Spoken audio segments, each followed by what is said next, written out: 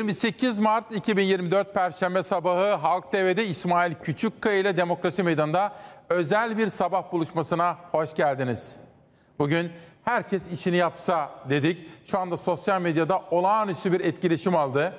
Bu özel sabahta seçime 3 gün kala iktidar muhalefet dengesini, Türkiye'nin gündemini, özellikle de 8 kuşağında altını çizmeye gayret ettiğim gibi bu seçimin kaderini etkileyeceğini düşündüğümüz ekonomiyi ve özellikle de emekliyi konuşmak istiyorum. Sizler de bize soru, görüş, öneri gönderebilirsiniz. Bu sabah, bu özel sabah buluşmasında CHP Genel Başkanı Sayın Özgür Özel bizim sorularımızı yanıtlayacak. Sizlerden de katılım ve soru bekliyoruz. Sayın Genel Başkan günaydın. Merhaba, Hoş günaydın. geldiniz. Hoş bulduk. Nasılsınız? İyiyim, sizden ne haber? Ses birazcık gitmeye başlamış. Ses, evet. Ama iyi getirdiniz buraya kadar. İyi geldik. En son Kilis'te yağmur altında bir konuşma ve sonra rüzgarlı bir mitingden sonra birazcık sesim gitti. Toparlamaya Zaten çalışıyoruz. son üç gün kaldı. Son üç gün, son gün konuşma olmaz artık. Son gün selamlamalar olur. İzmir ve Manisa'da böyle 3-4 farklı ilçede selamlama yapacağız.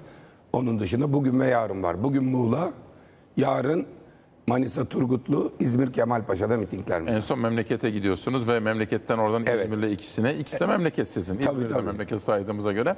Şöyle dün bir baktım bu program için. Ben sizinle en son tabii canlı yayın olarak söylüyorum. Genel başkan seçildiğiniz hafta genel merkezinizden bir yayın yapmıştım. Evet. Sonraki bütün bu yapıp etmelerinize baktım. Biraz sonra bilançoyu çıkaracağım. Fakat bu seçim döneminde dün baktığımda yüzün üzerindeydi miting. 101, Doğru dün mu? 101.yi yaptık. Planlananlar bittiğinde 105 ya da 106 miting yapmış olacağız. Yani bugün yarın planlananları yaptığımızda 105 olacak. Şimdi genel başkan seçildiniz ya, şimdi tabii partiniz bizim siyasi tarihimizde çok nadir gördüğümüz bir tutumla mevcut genel başkanı değiştirdi. Yani dolayısıyla yakın siyasi tarihe giren bir gelişme oldu bu. Fakat hemen elinizde de bir tane yerel seçimi kucağınızda bulmuş oldunuz. Bu nasıl etkiledi efendim?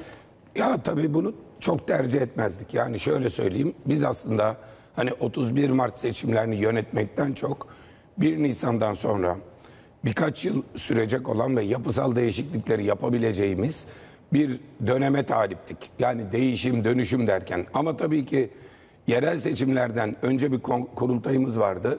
Onunla ilgili tespitleri o zaman konuşmuştuk ve bu kurultayda başarılı olup yönetime gelince hemen bir yerel seçim takviminin içinde bulduk kendimizi. Doğru işler yaptık, çok emek verdik. Özellikle ölçme değerlendirmeye çok emek verdik. 330 bin tekil anket yaptık.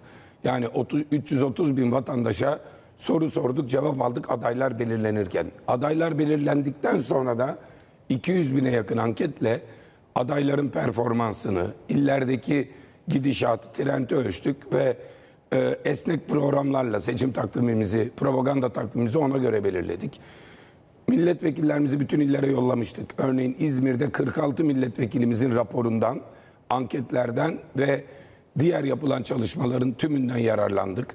Türkiye'de İstanbul hariç İstanbul'a bir özel başka bir uygulama yaptık ve Ankara'ya e, milletvekillerimiz en az ikişer kez gittiler. Özel heyetlerle çalıştık ve ölçme değerlendirme, memnuniyet anketleri, profil çalışmaları, adaylar arasındaki anketler, 850 ilçemize anketlerden sonra sandık kurabilirsiniz diye yetki verdik.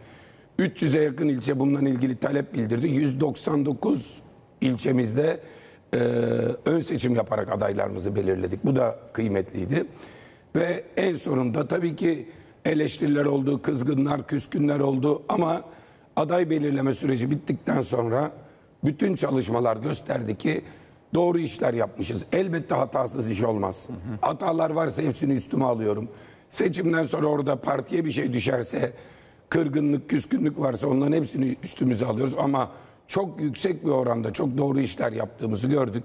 Ve e, son haftaya gelene kadar gayet iyi bir trend yakalamıştık. Son haftada umduğumuzdan daha iyi bir son haftaya girmiş durumdayız. Son günler hani bana 3 ay önce İsmail Küçükkaya'nın yayınına bir perşembe sabahı çıkacaksın. Partinin durumu ne olur deseler düşündüğüm durumdan daha ileride daha Partinin durumu ne olur? çok iyi olur. Yani şöyle bir şey söyleyeyim. Şu mümkün. 11 büyük şehrin tamamını korumamız, üstüne de 3, 4, 5 büyük şehir eklememiz mümkün. Yani Sayar mısınız? bir kere Bursa, Balıkesir, Manisa ve Denizli'nin dördünü de alsak şaşırmam. Üçünü alacağımıza inanıyorum. Hangi üçü değil yani hepsi birbirine çok yakın. Çok iyi gidiyor hepsinde. Üçünü alacağımıza inanıyorum. En az ikisini alacağız. Üçünüzü alacağımıza inanıyorum. Dördü olursa da bir tadından yenmez. Bunun yanında Malatya'dan yani duygusal mı bakıyorum diye hep kendimi geri çekiyorum. Ben söyleyebilir miyim? Bir gözlem olarak söyleyeyim. Malatya'ya iki kere gitmiş birisiyim. Malatya'da hani kazanır mısınız bilmem. Ben o gözle bakmıyorum. Ama oyunuzu çok artıracağınızdan eminim. Evet. Onu söyleyeyim. Mal- mesela Giresun mesela enteresan. Büyük- Manisa sizin Tabii. memleket. Ee, Malatya'da inanılmaz bir e, tempo var ve yani herkes Vela Baba'nın kazanacağına inanmış durumda. Adıyaman'da Adıyaman'ın zorla adaylaştırdığı bir adayımız var. Tuttere. Abdurrahman Tuttere. Yani oraya kimi yolladıysak özellikle 6 Şubat o yaz gecesinden 10 milletvekili arkadaşımız görevliydi. Geldiler ikişerli, üçerli tek başına Abdurrahman'a aday yapalım. Teyzeler ağlarken Abdurrahman'a sarılıp Kürtçe ağıt yakıyorlar. Ne dedi deyince sen ol sen ol başka kimse yok sen ol diyorlar dedi. Ve biz onun üzerine yani Adıyaman'da ankete mankete bakmadan yaptık. Malatya'da bir anket tuhaf bir sonuç var dediler. Kontrol anketi yaptık. Onun üstüne defalarca baktık. O deprem sonrasında Veli Ağababa'nın oradaki çalışmaları etkili. Veli Ağababa'nın ve Abdurrahman Tutdere'nin zaten sonra derinlemesine bütün çalışmalar yani Malatya ve Adıyaman'daki ortak cümle şu. Depremde bir tek yanımızda o vardı diyorlar her ikisi Bunu için ben de. çok duydum. Peki bir şey soracağım Özgür Bey. Şimdi siz çok tecrübeli bir siyaset insanısınız. Partinizde hemen bütün kademelerde en son grup başkan vekili hatta grup başkanlığına Grup başkanlığı kadar da. önemli görevlerde bulundunuz. Pek çok seçime girdiniz. Seçimleri kaybettiniz ama genel başkanınız başkaydı. Siz de partide görevliydiniz. Şimdi artık genel başkan olarak ilk defa bir seçime giriyorsunuz. İçinizdeki Özgür Özel ne diyor? Mesela 31 3 gün kaldı. 31 Mart'ta ne olacak sizce? Bence 31 Mart'tan bir vatandaş geneldeki iktidarı bu bütün yetkileri kullanan ve orantısız şekilde kullanan yani yetki kullanımı değil bu. TRT'yi partinin televizyonu haline getiren, Anadolu Ajansı'nı partinin haber ajansı haline getiren, 17 tane bakanla İstanbul'da propaganda yürüten ve devletin bütün imkanlarını bir parti için kullananlara karşı bu orantısız ve haksız güce yerelden bir denge kuracak. Onu hissediyorum. Yerelden denge. Hı. Yerelden bir denge kuracak. Diyecek ki evet sen bu kadar yetkiyi kullanıyorsun ama bu kadarı hem haksızlık hem bu kadar yetki ve bu kadar gücün bir yerde toplanmasının riskini de görüyor vatandaş. Neleri nelere sebebiyet verdiğini de görüyor. Yerelden güçlü bir denge kuracak. Ben büyük şehirler konusunda büyük şehir sayımızı arttıracağımızı ümit ediyorum. Ha bundan 3 ay önce bunu söyleseniz hani biz de çok inanmazdık kimse inanmazdı. Hatta öyle kötümserler vardı ki 11 büyük şehirden şöyle bir hesap yapılıyordu. İyi Parti yok 10 puan oradan çık geçen seçime bakarak. Ha, dem yok oradan da Ee, çık. geçen seçim HDP AK Parti'ye kaybettirmek için kayıtsız şartsız her şeyi yapmıştı. Onu da çık. CHP'nin elinde iki il ya kalır ya kalmaz. E, en iyimser üç deniyordu. Biz öyle olmayacak gayret edeceğiz diyorduk ama böyle bir noktaya gelebileceğimizle ilgili ben de yani iyimserdim ama beklentilerimin ötesine geçmiş durumdayız. Biraz önce söylediğiniz gibi yani Giresun'u kazanacağız, Sinop'u kazanacağız. Bunun yanında mesela Trabzon merkez ilçeyi kazanacağız Ahmet Kaya'yla. Afyon ve Uşak'ı yan yana kazanacağız. Yani Manisa'da olursa kıyı şeridinde düşünsenize İzmir'in yanında Manisa, Uşak, Afyon olacak. Kütahya'nın da çok büyük bir sürpriz potansiyeli var. Ağırladım Kesin- burada olabilir benim memleketten de. Çünkü orada şöyle bir şey var işte oy dengeleri falan böyle dağılınca evet, evet. CHP aradan seçilebilir. Zaten bir partiniz bir milletvekili vardı. Tabii tabii vardı. Şu anda Saadet grubunda grubu düşmesin diye Saadet'in yerel seçimler sonuna kadar da e, süre istemişlerdi. Arkadaşımız da anlayış gösterdi. E, Saadet Partisi grubunu kaybetmesin Gelecek Partisi ile birlikte diye. Özgür Bey en orada. çok İstanbul merak ediliyor. Tabii siz genel başkansınız. Her yerle ilgileniyorsunuz ama biz de gazeteciyiz ya herkes soruyor İmamoğlu kazanır mı? İmamoğlu kazanır mı? Şöyle son yani bugünlerde konuşmanın şu güçlüğü var. Sanki seçmene sana gerek kalmadı. Sen ne yaparsan yap falan. Böyle bir hissiyat yaratmak istemem. Ama şöyle ifade edeyim. Her anket bir öncekinden iyi geldi. Yani Ha, her gittikçe anket- mi yükseldi? Evet, evet, evet. Her anket Ekrem Başkan için bir öncekinden iyi. Öyle olunca trend hep yukarıya doğru gitti ve büyük bir teveccüh var. Hani iddialı bir şey söylemeyeyim ama şunu söyleyeyim. Hani o haksızlığa uğradı, mazbatası iptal edildi ve ikinci seçim oldu ya. Evet. Ben ikinci seçimdeki farkı arttıracağını düşünüyorum. O kadar yani e, yani ikinci seçimdeki kadar bir farkı olası görüyorum diyeyim. Tabii bunda 5 yıllık emek var.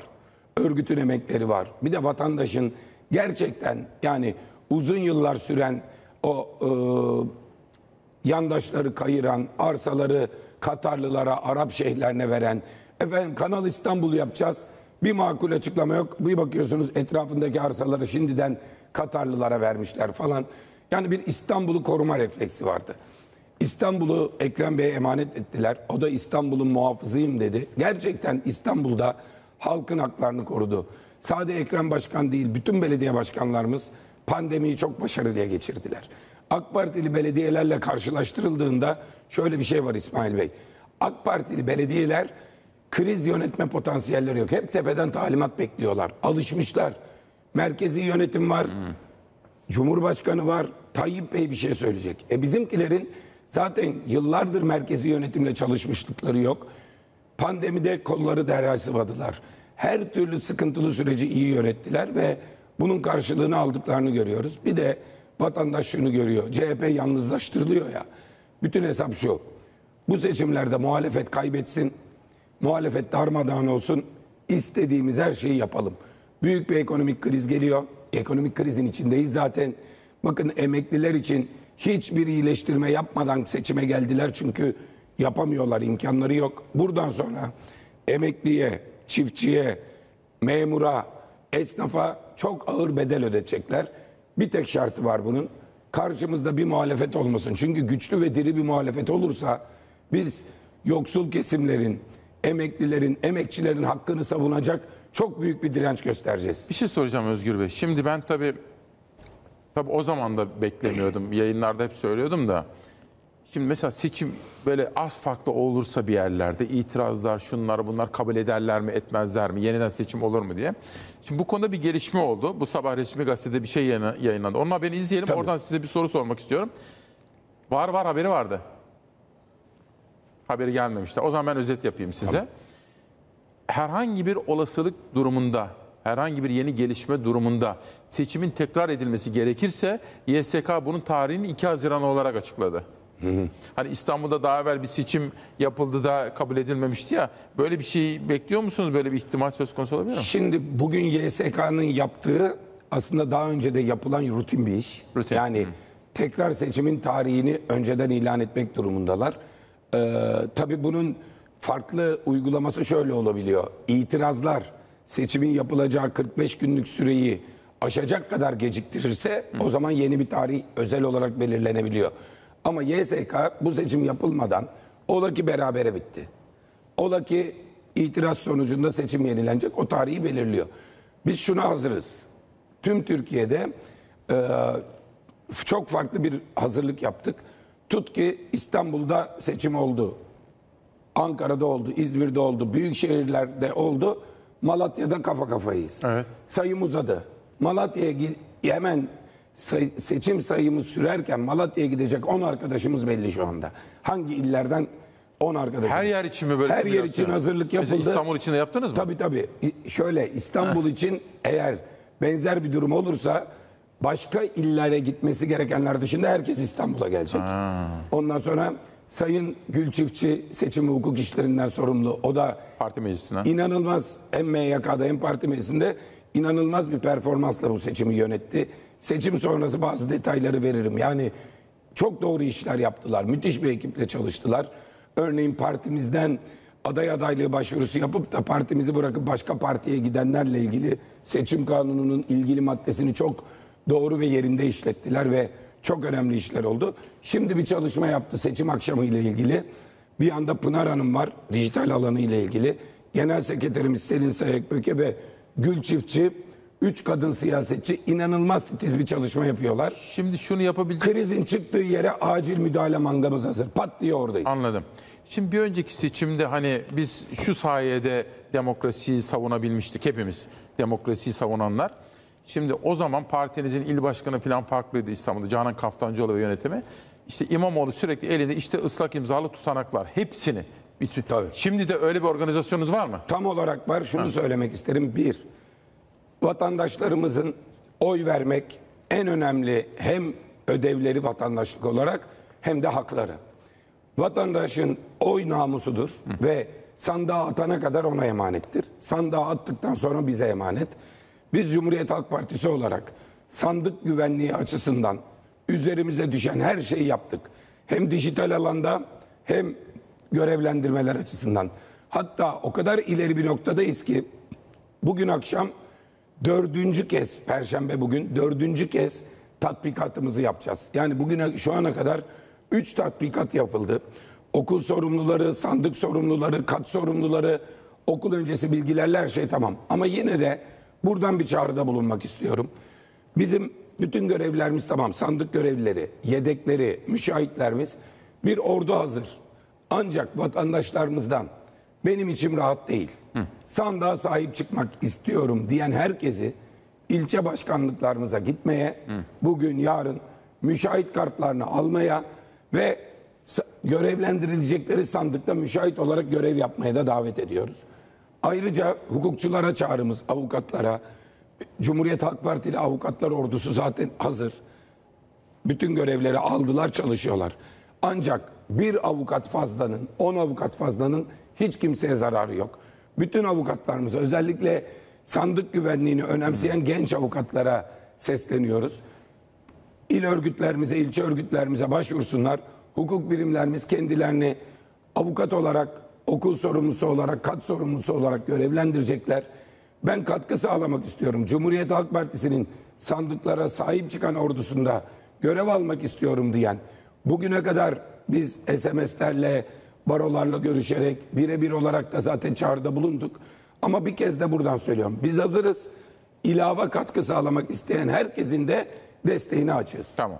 Şimdi size İzmir'i de sormak istiyorum. İzmir, Manisa. Onun dışında İstanbul'un ilçeleri. Dün Sarıyer'le ilgili bir çağrınız oldu. Orada mitingde ben onu izledim. Dolayısıyla sonra Şükrü Genç bana işte mesajlar yok kulağımı çınlatmış filan. O Suriye, Sarıyer bağlamında İstanbul ilçelerinde soracağım. Ama şimdi izin verirseniz sosyal medyadan şekillenen gündeme Tabii. bir birlikte bakalım. Evet arkadaşlar rica edeyim. Evet, CHP Genel Başkanı Sayın Özgür Özel'e soracağımız sorulardan ilki. İmamoğlu, bakanların AKP'li adaylar için sahaya inmesine tepki gösterdi. İnanıyorum ki 1 Nisan'da koşa koşa Ankara'ya gidecekler. Sayın Özgür Özel, şimdi biz bunu daha önce bu kadarını görmemiştik. Bütün bakanlar İstanbul'da, yani bütün Türkiye'yi dolaşıyorlar da bunu bir yorumlar mısınız? Şimdi birincisi bu Cumhurbaşkanlığı hükümet sisteminin iflası anlamına geliyor. Çünkü Mehmet Uçum'un kitabı vardı. Referandum sırasında hep savundular bunları. Ne dediler? Artık bakanlar siyasi olmayacak. Bakanlar bürokrat olacak. Bakanlar teknokrat olacak. Onlar görevini yapacaklar. Siyaseti Cumhurbaşkanı yapacak dediler. Siyaseti Cumhurbaşkanı ve onun görevlendirdiği siyasi arkadaşları yapacak. Bakanlar teknik insanlar olacak dediler. Hatta ve hatta şöyle örnekler veriyorlardı. Diyorlardı ki İçişleri Bakanı eskiden hatırlayın İçişleri Bakanı, Ulaştırma Bakanı ve Adalet Bakanı istifa ederdi seçimden önce. Yerine tarafsızlar. O istifayı kaldırdıklarında eleştirdik. Onlar dedi ki eskiden bakanlar siyasiydi. Gidip kampanya yapıyorlardı. Polis İçişleri Bakanı'na bağlı, jandarma İçişleri Bakanı'na bağlı. Böyle bir bakan gidip nasıl kampanya yapar diye anayasa onların istifasını istiyordu. Ama şimdiki bakanlar teknik görevlerini yapacaklar, kampanyaya katılmayacaklar dedi. Şimdi İçişleri, Adalet, Ulaştırma Bakanları hem istifa etmiyor hem de eski bakanlar gibi gidip kampanya yapıyorlar. Kendi ağızlarıyla artık bakanlar siyaset yapmayacak, teknik olarak çalışacak. Onlar atanmış bürokratlar diyorlardı. Hatta ve şu da var. Bakanlar mecliste yemin ediyorlar. Kürsümüzü emaneten kullanıyorlar. Ama meclisten güven oyu almıyorlar. O yüzden de atanmış memurlar aynı şey gibi. Mesela ombudsman da mecliste yemin ediyor ama güven oyu almıyor. Şimdi çıktı bütün bakanlar Ekrem İmamoğlu'nun karşısında kampanya yapıyorlar. Bu hem sistemin iflası hem acziyet hem büyük bir haksızlık. Şimdi Çok büyük haksızlık hem. Özgür Bey bir şey soracağım buna aklımıza aklıma bir soru geldi. Arkadaşlar şu Adana 5 Ocağı alır mısın? Bu arada yüzlerce soru geliyor. Bir tanesi ama yakaladım Tabii. şimdi. Diyor ki Erzincan'dan seçilmiş bir CHP milletvekili olarak diyorum ki lütfen bunu Sayın Genel Başkanımıza da ilet. Canlı yayında bütün Türkiye duysun. Can Erzincan'da çok iddialı bir duruma geldik diyor Sarıgül. Evet. Genel Başkanıma iletir misin diye soruyor. Zaten ben şimdi Sayın Sarıgül çok talep aldı. Örneğin Büyükşehir Belediye Başkan adayları belirlenirken onun çok sevildiği iller vardı. 3-4 ilden Büyükşehir adayı olarak adı geçti. Ben hep şunu söyledim. Ya Can Erzincan Mustafa Sarıgül'ü bekliyor. Mustafa Sarıgül iyi bir siyasetçi. Seçilmiş milletvekili olarak Erzincan gibi bir yerde belediyeyi alması gerekir. Alacak potansiyeli vardır. Ben Sarıgül'ü işte filanca ile yapı. Erzincan ne olacak diyordum. Mustafa Bey gider belediyeyi Erzincan'da kopartır alır. Pazar akşamı bu tweet'i de hatırlayarak hep birlikte İddia. Şimdi izleyeceğiz. Özgür Bey çok uzun yıllarda birbirimizi tanıyoruz. Gazeteci, siyasetçi mesafesi ama onun dışında da özel bir hukukumuz da var Eyvallah. sizinle. Ama ben bu ilişkileri birbirine karıştırmadan. Şimdi ben size bir baktığım zaman CHP Genel Başkanı olarak gördüğümde hani bu bir belli bir mesafedeyim. Hani AK Parti Genel Başkanı'na nasıl bakıyorsam öyle sorular. Tabii. Fakat bir de tanıdım. Ayrıca da bir format daha var. Oturduğunuz koltuk Atatürk'ün yani Cumhuriyet Halk Fırkası'nın genel başkanısınız şimdi. Bunu niye aklıma geliyor? Mesela herhangi bir tutum, yorum, davranışınızı yadırgarsam bunu söylerim. Tabii. Şimdi bakın ver şimdi Adana 5 Ocağı. Hani makamları önemsiyorum. Onu Tabii, söylemeye tabii. çalışıyorum. Hani şimdi bakın Hakan Fidan. Şimdi sabah ben bu bugünkü Adana 5 Ocak gazetesi. Bakın Ali Yerlikaya'da da bunu görüyorum. Çok yadırgıyorum. Şimdi Dışişleri Bakanı Hakan Fidan ve parti sözcüsü Ömer Çelik uzman doktor Halil Nacar'a destek istedi. Yüreğir kazanacak, Adana kazanacak. Şimdi bakın Ömer Çelik hiç yadırgamam. E, tabii. Partisinin sözcüsü görevini yapıyor Adanalı. Tabii, tabii. Fakat Hakan Fidan'ın yani gidip Yüreğir'den o istemesi, Ali Yerlikaya'nın gidip ya bu bana tuhaf geliyor. Yani bunu Ya, açar mısınız O- biraz daha? Olacak işler değil bunlar. Hakan Fidan'ın bir önceki görevi MİT müsteşarlığı. Evet. Zaten ben bir MİT müsteşarının sonradan dönüp bakan olmasını da doğru bulmam. Yani dünya kadar görevi gereği edindiği sır var. Ve bu sırların bir kısmı bir siyasi partinin eline geçmemesi gereken sırlar. Şimdi o bütün müktesebatıyla oraya gitti. Bir kere bu çok yanlış bir iş. E şimdi böyle baktığınızda Hakan Fidan'ı ben bile ilk gördüğümde resmi aklıma doğrudan Dışişleri Bakanı gelmiyor ki. Bir kere MİT müsteşarı geliyor. Aynen öyle. Şimdi bu doğru bir şey değil. Yani Türkiye Cumhuriyeti Devleti'nin en müstesna, en mahrem kurumunun yıllarca başında olmuş kişi gidiyor uzman doktor Halil Nacar'a destek istiyor. Bir, devlete yazık, kuruma yazık, siyaseti bu hale getirmemek lazım. Başka bir şey daha söyleyeyim mi? Adaya hatta Ömer Çelik'e de yazık. Sen partinin sözcüsü olacaksın. İlin yıllarca milletvekilliğini yapmış olacaksın. İlinde bir tane belediye başkan adayın var. İlçede, Yüreğir ilçesinde. Ya olur mu ya?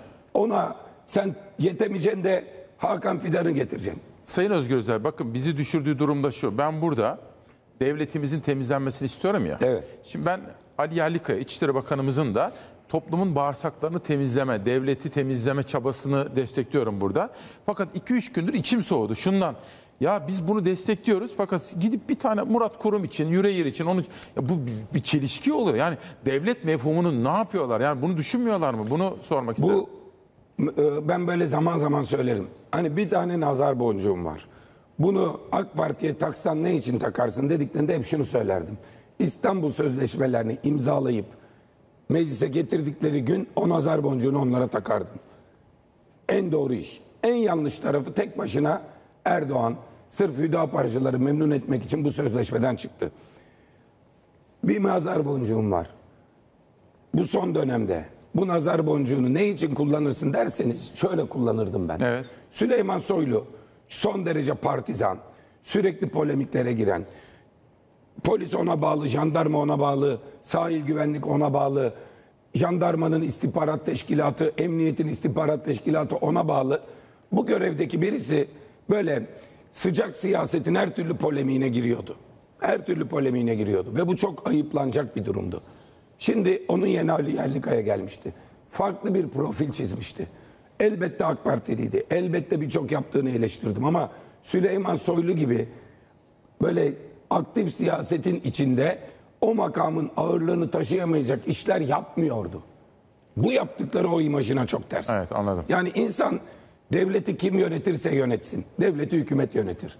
Ama insan devletine güvenmek istiyor. Ve böyle bakanlıklar, kritik bakanlıklar. Şimdi İsmet Sezgin'in partisini hatırlamazsınız belki. Ama ağır bir İçişleri Bakanıydı. Böyle- Zahit Menteşe öyleydi. Nait Menteş öyleydi. Bunlar Türkiye Cumhuriyeti kuşak. Devleti'nin bütün içişleri bakın. Hikmet Çetin'i CHP'li kimliğiyle anımsamayanlar Dışişleri Bakanlığındaki ağır devlet adamı daha sonra NATO onu Afganistan misyonunda görevlendirdi. AK Parti döneminde bile oldu. Bakın dün dün Hikmet Çetin beni aradı. Dedi ki çok haklı bir serzeniş seninki dedi. Ben dedi yıllarca işte bakanlık yaptım, şunu yaptım, bunu yaptım. Devletimiz sadece 3 kişinin makamın bayrak taşımasına Tabii. izin verir dedi. Valileri söyledi, büyükelçileri söyledi. Bak bunlar son derece önemli. E şimdi dedi devletin hale düşüyor. Bizim zamanımızda bunlar yoktu dedi. Olmaz gerçekten olmaz. Devam edelim arkadaşlar. Sosyal medyadaki gündeme. CHP lideri Özgür Özel'in yanıtlamasını istediğiniz sorularınızı bize gönderebilirsiniz. Reklam arasında da detaylı olarak bakacağım. Şimdi Sayın Başkan bu da önemli. Hurşit Güneş'te gördüm bunu. Türkiye'de 16 milyona yakın emekli var. Oysa bundan 3-4 yıl önce bu sayı 9 milyon kadardı. EYT nedeniyle birden arttı. Kıs, uzun lafın kısası şu. Siz diyorsunuz ki bir sarı kart gösterin. Yani emekliler bu seçimin gerçekten kaderini belirleyecek mi? belirleyecek. Ben iki aydır sağ- meydanlardayım. 45 gündür günde 3-4 mitingle bazen 5-6 miting yaptığımız oldu. İzmir'de 6 miting yaptık. En az 2 mitingle meydanlardayım.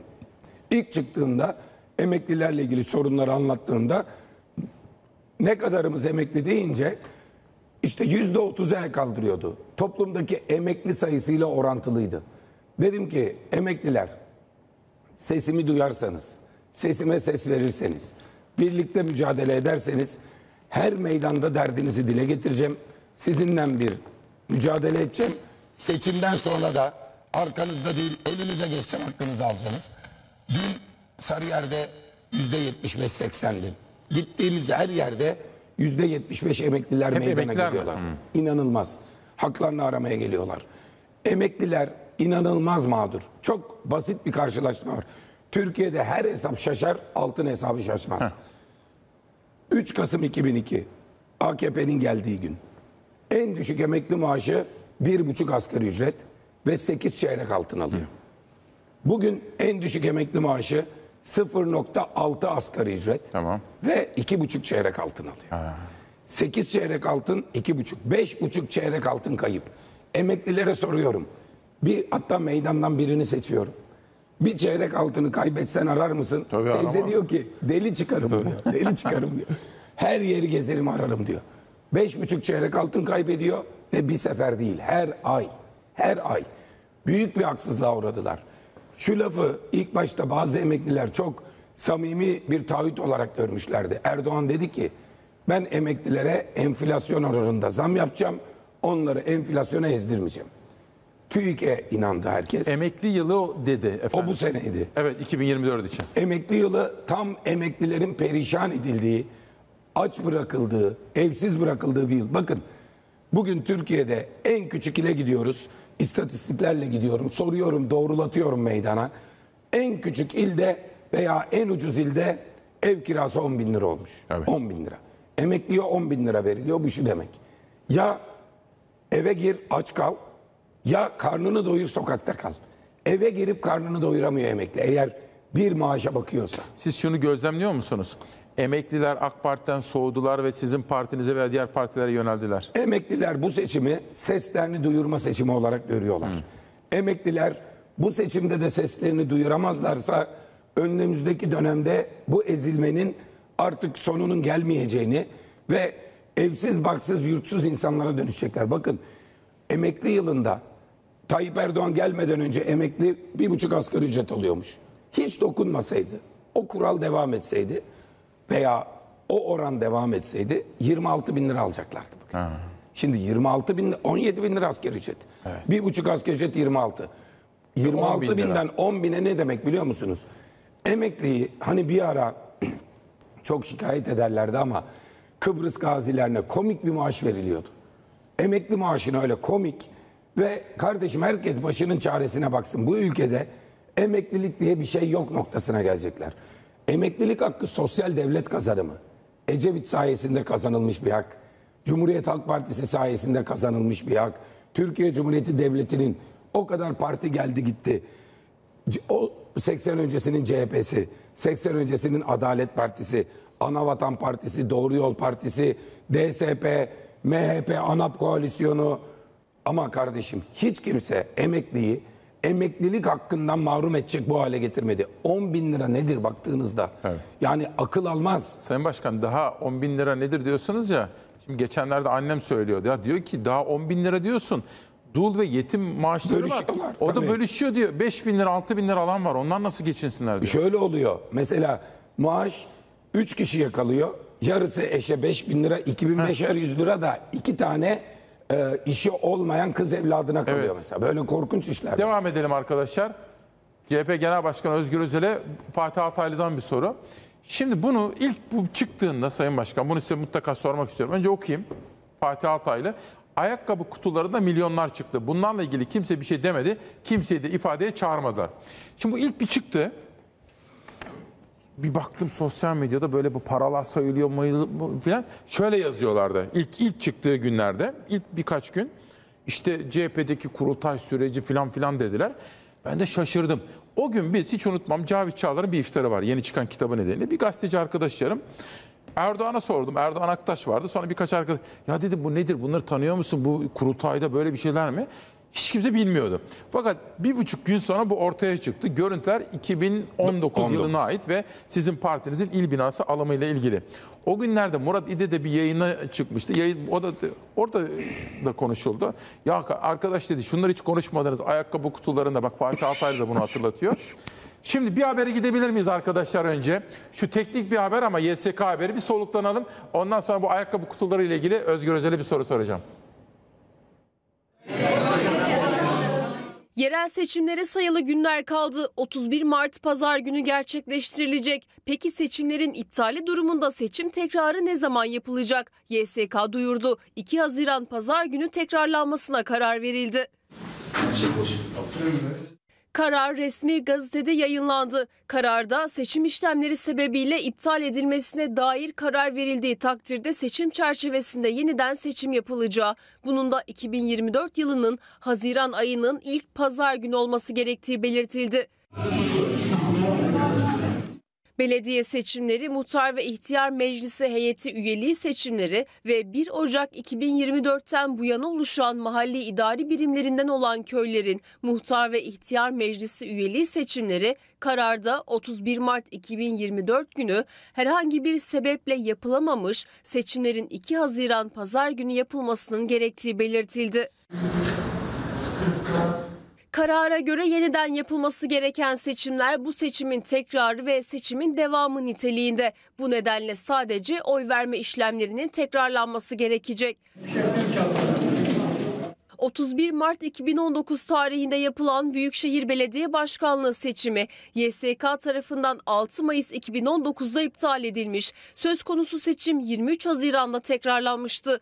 13.729 oy farkla kazanan Ekrem İmamoğlu tekrarlanan seçimde rakibi Binali Yıldırım'a karşı yaklaşık 800 bin oy farkla tekrar kazandı. Buradan içeri doğru yardımcı olalım.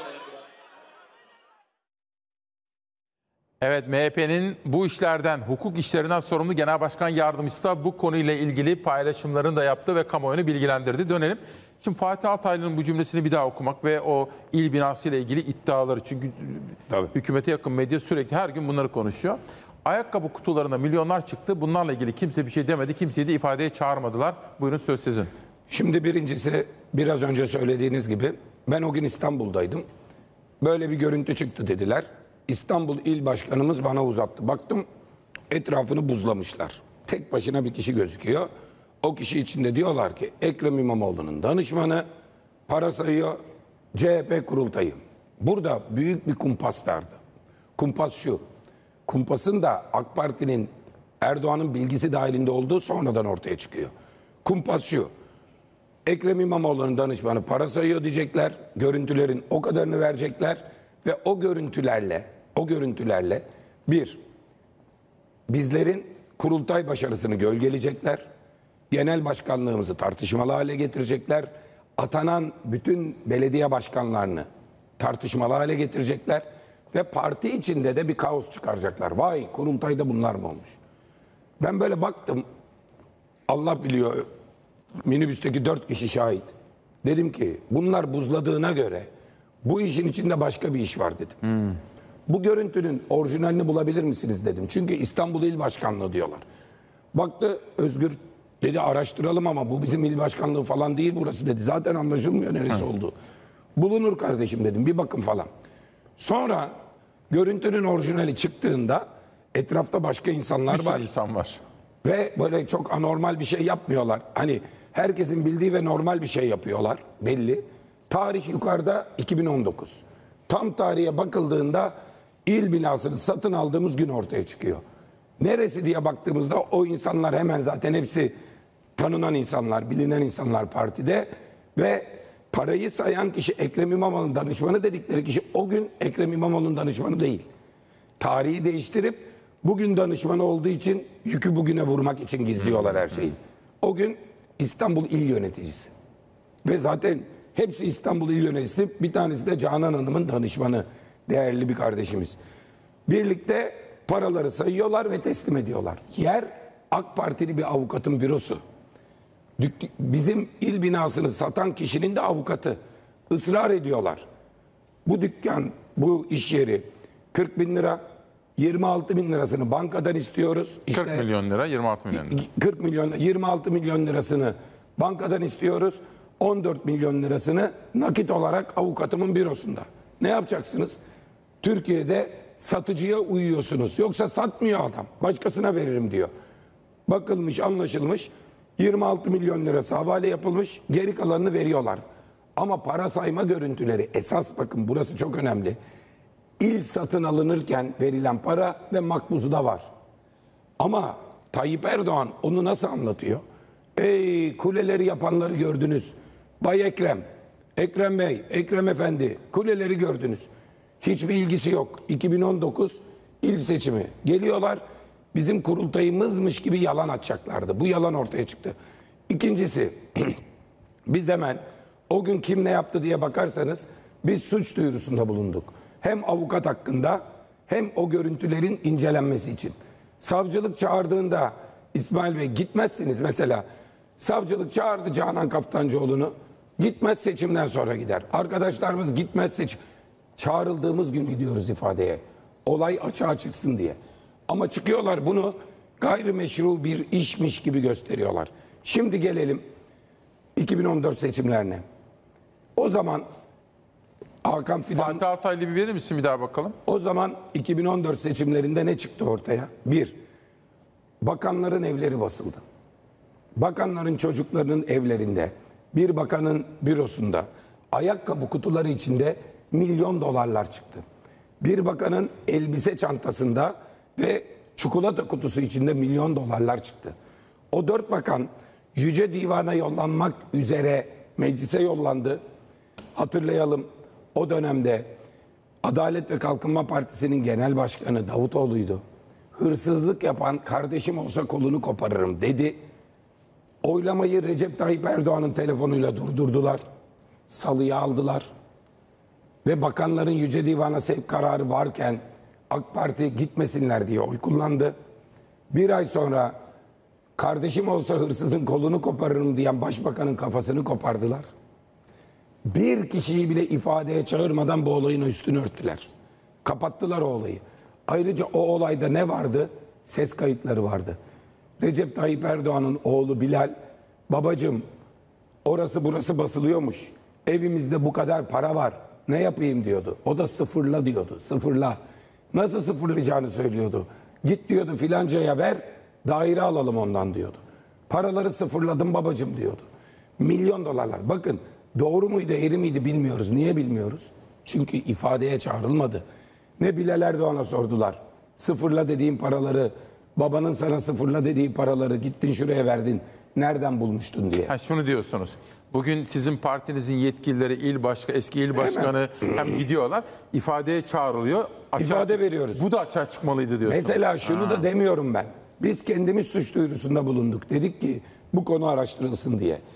Ama dört tane bakanın soruşturulması için AK Partililer hayır oyu verdi. Davutoğlu zaten AK Parti'den aslında ayrıldıysa esas Tabii, tabii. dönüm noktası oydu. Birkaç Öyle diyor. sebebi vardı. Öyle diyor. Bir tanesi buydu. Bir tanesi siyasi ahlak yasasını Evet. çıkarmak istedi. Partilere gelen giden parayı incelemek için. Erdoğan ona dedi ki bir il bir ilçe başkanı bulamazsın dedi. Bunu yaparsan dedi. Bunu Devam yaparsan. edelim. Peki çok teşekkürler Sayın Özgür Özel. Bir sonraki gündem maddesi Mehmet Şimşek. Şimdi bu da önemli. Dün Kürtçe konuştu Batman'da. Şimdi ben de dedim ki bu tabii hoşuma da gitti. Sabah bir izleyelim sordu siz daha gelmemiştiniz. Ya dedim Sayın Mehmet Şimşek tabii ana dili Kürtçe. Güzel. Eski öbür seçimlerde de Gaziantep'te, Diyarbakır'da, Batman'da da Kürtçe konuşmuşluğu var da. Fakat dedim mecliste konuştuğu zaman da hani bilinmeyen Bilinmeyen bir değil. dil yazılıyor. Fakat meselenin bunun dışındaki bölümü şu. Kentsel dönüşümün mimarı Murat Kurum İstanbul için büyük bir fırsattır. Ne dersiniz? Murat Kurum imar aflarının mimarıdır. Depremlerde kaybettiğimiz insanların imar aflarından dolayı yitirildiği noktasındaki bütün eleştiriler Murat Kurum'a yöneltilmesi gereken eleştirilerdir. Murat Kurum İliç'teki facianın mimarıdır. Murat Kurum İliç'te için çevresel etki değerlendirme raporuna yerine imza atsın diye yetki verdiği kişi bakan adına imza atmıştır. Murat Kurum İliç'in felaketidir. Murat Kurum depremin felaketidir. İstanbul'un felaketi olmasına izin vermemek gerekir. Peki. Bir sonraki manşeti rica edelim. Mehmet Şimşek'in dünkü yaptığı açıklamalardan sonra ha bunu da bir söyleyeyim. Bunu ben takip ediyorum. Şimdi siz dün demiştiniz ki memleketime gidiyorum son iki gün. Şimdi Erdoğan da böyle yapardı hep İstanbul'a e, yüklenirdi en son birkaç günde. Siz de şimdi hem Manisa hem de İzmir, ikisine gidiyorsunuz.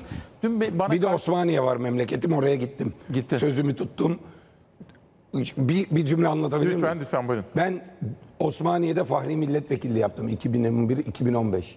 Onlara söz verdim buradan milletvekili çıkarmadan sizi bırakmam diye. Önce Baha Ünlü'yü çıkardık şimdi Asu Hanım'ı. Ben Fahri Milletvekilliğim tabii sona erdi. Ama her fırsatta giderim.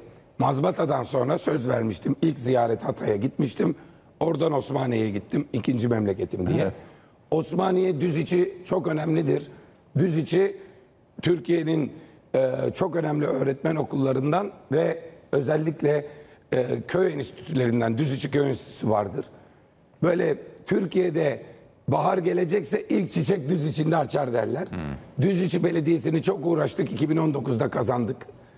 Aday tuttu kazanan arkadaş tuttu AK Parti'ye geçti. Ben söz verdim onlara yine kazanacağız ve genel başkan olarak düz içi ne kadarcık bir yer miting yapacağım dedim burada. Gideceğiz bizimkiler itiraz ediyor. Ramazan'ın ilk günleri pazar sabah 10 düz içi mitingi. Dediler ki 10 kişi gelir rezil olursun. Dedim ki düz içini ve Osmaniye'yi bana bırakın. Hiçbir şeye gerek yok. Bir tane SMS atın görün ne oluyor. Sabah 10'da düz içi yıkıldı. Evde kimse yoktu. Ee, Ondan Osmaniye, Manisa ve İzmir. Üç Lafı memleket. İzmir'e getireceğim. Fakat sizi dinlerken bir şey aklıma geldi Özgür Bey. Ve bilmediğimi fark ettim ve biraz kendimi de yadırgadım, ayıpladım doğrusu. Estağfurullah. Soracağım size. Siz hangi takımı tutuyorsunuz? Şimdi ben koyu bir Fenerbahçe taraftarıydım. Manisa Spor birinci lige çıkıp Manisa Spor Fenerbahçe maçında çok çelişkili duygular yaşadım. Fenerbahçe taraftarlığım devam ediyor ama eskisi gibi fanatik değilim. Ama Fenerbahçe'yi böyle göz ucuyla takip ediyorum. Ama geçen de sözleştik il başkanımızla birlikte bu seçimlerden sonra falan bir Fenerbahçe statında, bir Galatasaray statında, bir İnönü statında İstanbul'da maçlara gideceğim. Çünkü 10-12 yıldır hiç maça gitmemişim. Son gittiğim maç Fenerbahçe Galatasaray maçına kızımla gitmiştim ama e, Manisa'da oynandı. Kızınız Fenerbahçeli mi? Fenerbahçeli Soma'daki faciadan dolayı e, 301 şehidimizin ailesine gelirleri bırakılmak üzere Fenerbahçe Galatasaray maçı vardı. En son izlediğim maç o maçtır. Ben de şimdi bu vesileyle yıllar yılı tanıdığım, takip ettiğim kişinin yani CHP Genel Başkanı'nın Fenerbahçeli olduğunu bugün öğreniyorum. Ama yani Esas Manisa sporluyum. Tamam. İzmir'de bütün takımlara Altay, Göztepe, Karşıyaka'yı beraber oraya tutuyoruz. getireceğim. Evet. Şimdi ben de Beşiktaşlıyım fakat benim için de hani mesela Göztepe sempati şampiyonudur. Benim için Göztepe. Avrupa'da da çok başarılıydı. Birkaç gündür bana ulaşıyorlar. Öncelikle Karşıyakalı Meltem Kemaloğlu ulaştı. Sonra Karşıyaka Spor Kulübü Başkanı. Dedi ki Özgür Özel'e, CHP'lilere, AK Partililere de lütfen seslenirseniz iktidar muhalefet ayrımı gözetmek için. Biz stadyum istiyoruz Karşıyaka'ya diyorlar. Yerden göğe kadar haklılar. Karşıyaka stadyumu büyük bir haksızlıktır. Karşıyaka yapılmış. Yıktılar, söz verdiler, yapmadılar. Belediye Başkanımız Cemil Tugay, Heh. Karşıyaka Belediye, İzmir Büyükşehir Belediye Başkanımıza gitti. Konuştu, ikna etti. İzinleri verin, İzmir Büyükşehir bu statı yapsın dediler. O konuda hakkını yemeyelim. Tunç Soyer de biz bu statı yaparız dedi. Cemil Tugay resmen bu işe ömrünü vakfetti. Ama bir imza atmadılar ki Karşıyaka statını CHP'li bir belediye yaptı olmasın diye. Şu anda hala metruk bir şekilde inşaat alanı duruyor ve biz Karşıyaka'ya statını bu sefer Cemil Tugay Büyükşehir Belediye Başkanı. Tabii Cemil Tugay Karşıyakalı olduğu kadar Göztepe'li, Altaylı, Altınordulu yani İzmir Büyükşehir Belediye Başkanı ama nasıl Altay'ın statı yapıldı Göztepe'nin de yapıldı. Mustafa Denizli'nin ismi verildi. Ne doğru bir iş. Göztepe'nin statı yapıldı. İzmir'e Karşıyaka'nın da statı yapılmalı ve bunun için Cumhuriyet Halk Partisi Karşıyaka Belediye Başkanımızın da hatırlatalım özelliğini. Benim bir sözüm vardı Karşıyakalılara. Karşıyaka'ya Karşıyakalı Belediye Başkanı diye. Tamam. Cemil Tugay da mesela memleketi Karşıyaka değil. 1989'dan beri Karşıyaka'ya Karşıyaka'da doğmuş bir büyümüş belediye başkanı yoktu. Şimdi Yıldız Hanım, İşçimenler ailesi. Karşıyaka'da iki Levantenlerin evi hariç iki Türk evi varmış. Birisi büyük dedesinin. Büyük dedesi Karşıyaka Spor'un kurucu başkanı. Dedesi Karşıyaka Spor'un en uzun süre başkanlık yapan başkanı. Babası Karşıyaka Spor Başkanı. Kendisi Karşıyaka Spor'da basket takımında oynamış, kürek takımında oynamış ve Karşıyaka Spor'un yöneticisi Yıldız İşçimenler şu anda Karşıyaka Belediye Başkan adayı. Kadın aday. Atatürk'ün annesinin emanet olduğu, ebedi istirahatgahının olduğu Karşıyaka'ya kadın bir Cumhuriyet Halk Partili ve doğma büyüme dört kuşak Karşıyakalı. Bu stat Yıldız İşçimenler'in belediye başkanlığında. Yapılacak mı? Karşıyaka Belediye Başkanlığı'nın Cemil Tugay'ın İzmir Büyükşehir Belediye Başkanlığı'nda. Bütün arkadaşları İzmir'in Karşıyakalı, Göztepe'li, Altaylı ben aralarında kalıyorum hepsinin. Varlığında sözümüz sözdür. Bu stat Karşıyaka. Tamam, ben de bunu takip edeceğim. Tabii. Çok teşekkür ediyorum. Açılış maçına da Bu birlikte arada- gidelim. Gidelim. Açılış maçına birlikte, Birlikte gidelim. gidelim. Bu arada size bir teşekkür etmem gerekiyor. Ben şimdi adaylar hep baktım ya. Lal Denizli'yi bu da nereden çıktı dedim. Bir sürü arkadaşa sordum CHP'yi. Hiç kimse bilmiyordu. Önce Gökhan Zeybi'yi aradım. Anlattı. Ama dedi onu benden bile daha iyi tanıyan dedi genel başkanımız. Bak sana anlatsın dedi. Siz bir gün dediniz ki tanıdığın zaman dediniz e, fenomen olacak. Evet. Yayına da davet ettim. Gerçekten bütün aday adaylar içinde en ilgi çeken programlardan biri oldu. Çok donanımlı bir kadın. Genç kadın. 1999 Adnan Polat İstanbul kampanyasında kampanyanın maskot kızı Lal Denizli. 8-9 yaşında. 15 yaşından beri elinde mikrofon CHP otobüslerinde anons yaparak başlamış. CHP Beşiktaş gençlik kollarında görev yapıyor ve bütün herkes şöyle. İsmail Bey şey ya Mustafa Denizli dediğiniz kişi Türkiye'de hali vakti yerinde çok iyi paralar kazanmış birisi. Lal bizim gençlik kollarında gençlik kolları simit peynir, lal simit peynir. Gençlik kolları boyoz, lal boyoz. Bir de bir de buraya geldiği zaman da çok şimdi ne yaptı biliyor musunuz? Hem kendisini hem geçmişini, partisini, sizi yani sizin bu değişim felsefenizi hem de Cemil Tugay ve İzmir'de sizin altını çizdiğiniz felsefeyi anlat. Yani yalnızca kendisi ya ben işte Çeşme'de şöyle. Oradan anladım donanımlı olduğunu. Şöyle bir şey, gençlik kollarından beri gelen, aile durumu çok iyi olmasına rağmen aylarca kampanyada gençlik kollara aç susuz o da aç susuz. Onlar simit peynir o da simit peynir. İnanılmaz bir arkadaşımız. Çok iyi çalışmış yetişmiş. 32 yaşında. Eğitimi çok iyi, yabancı dilleri çok iyi, vizyonu çok iyi. Partinin böyle saatin vidasından geliyor. Ve zaten aday gösterdiğimizde ben hep şunu söylemiştim. Tanıyın en kısa sürede bayılacaksınız. Hatta şunu söyleyeyim çok iddialı bir laf söyleyeyim. bir dönem belediye başkanlığı yapsın. Lal Denizli, Mustafa Denizli'nin kızı diyorlardı ya. Evet. Mustafa Denizli'ye Lal Denizli'nin babası Duydum onu. diyecekler. Şimdi bir reklama gideceğiz. Efendim tabii bir de Kılıçdaroğlu meselesi var. Sarıyer konusu var. Kılıçdaroğlu, dün efendim Kılıçdaroğlu'nun ofisini aradım. Çünkü bir takım tartışmalar vardı. Konuşacağız. Özgür Özel'den de bakın Kılıçdaroğlu'nun bu yaptığı açıklama ama yönetmenim uyarıyor beni. Reklama gitmemiz gerekiyor. Tabii biz reklama bir gidelim. Tabii. Sonra devam edelim. Değerli izleyenler nereye döneyim? Değerli izleyenler kısa bir reklam arasından sonra CHP Genel Başkanı Özgür Özel ile İsmail Küçükkaya ile Demokrasi Meydanı devam edecek. Halk TV'desiniz. İsmail Küçükkaya ile özel bir sabahta Demokrasi Meydanı'ndayız efendim. Herkes işini yapsa dedik. Ne güzel olur diye ekledik. Bu sabahki etiketimiz şu anda sosyal medyada olağanüstü bir etki var. Bütün kanallarda olduğu gibi, bütün mecralarda olduğu gibi sosyal medyada da yoğun bir etkileşim ve katılım gösteriyorsunuz. Çok teşekkür ediyorum. Kısa reklam arasında ben de baktım. CHP Genel Başkanı Özgür Özel'e sormamı istediğiniz soruları aldım. Sarıyer, İzmir, bunun dışında Çanakkale, Edirne pek çok yerle ilgili sorularınız var. Antalya konusunda acaba ne bekliyor kendisine soracağım. Başkaca sorularınız varsa lütfen bana gönderin. Özete gideceğim ama bir de Kılıçdaroğlu'nun en son tweet'i kalmıştı. Özel bir diyalog anlatacağım. Kılıçdaroğlu'nun bana söylediği, benim de ama efendim ben gazeteciyim diyerek konuştuğumuz o bölüm aklıma geldi. Onu anlatacağım. Bu arada dün Kılıçdaroğlu'nun kamuoyuyla paylaştığı bu görüşünü de yansıtacağım da. Özgür Bey önce bir şey sormak istiyorum. Buyurun. Bugün dedik ya biz herkes işini yapsa, etiket. Hadi bize bir cümle söyleyin de oradan böyle bir tweet atayım. Mesela herkes işini yapsa ne olur? Memleket güllük gülistanlık olur. Gayet dört dörtlük olur. Herkes işini yapsa memleket huzurlu olur. Tamam ben bunu yazacağım şimdi. Güven hazır mıyız? Evet bu özel sabahta herkes işini yapsa memleket güllük gülistanlık olur diyoruz.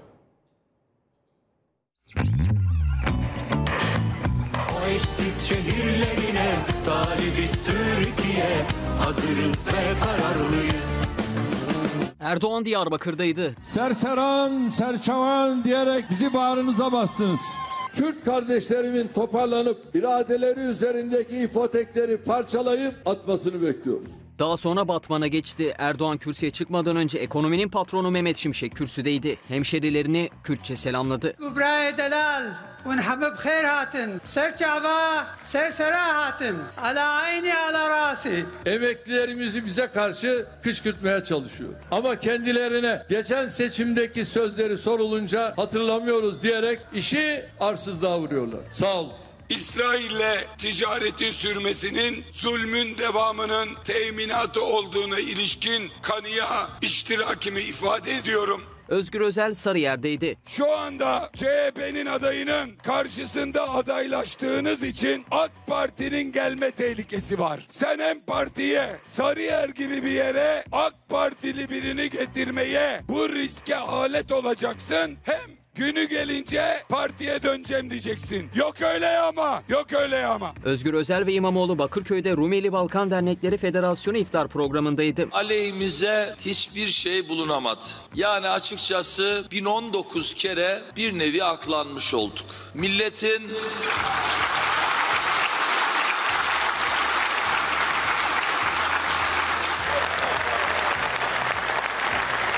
Bu ülkeyi biz kurduk. Onu yükseltecek ve yüceltecek sizlersiniz derken vasiyeti, emaneti siz gençlerimizeydi. Bu emaneti hatırlatıyorum. bu yoğun teftişe bizi tabi tuttukları için kendilerine halkımız huzurunda teşekkür ediyorum.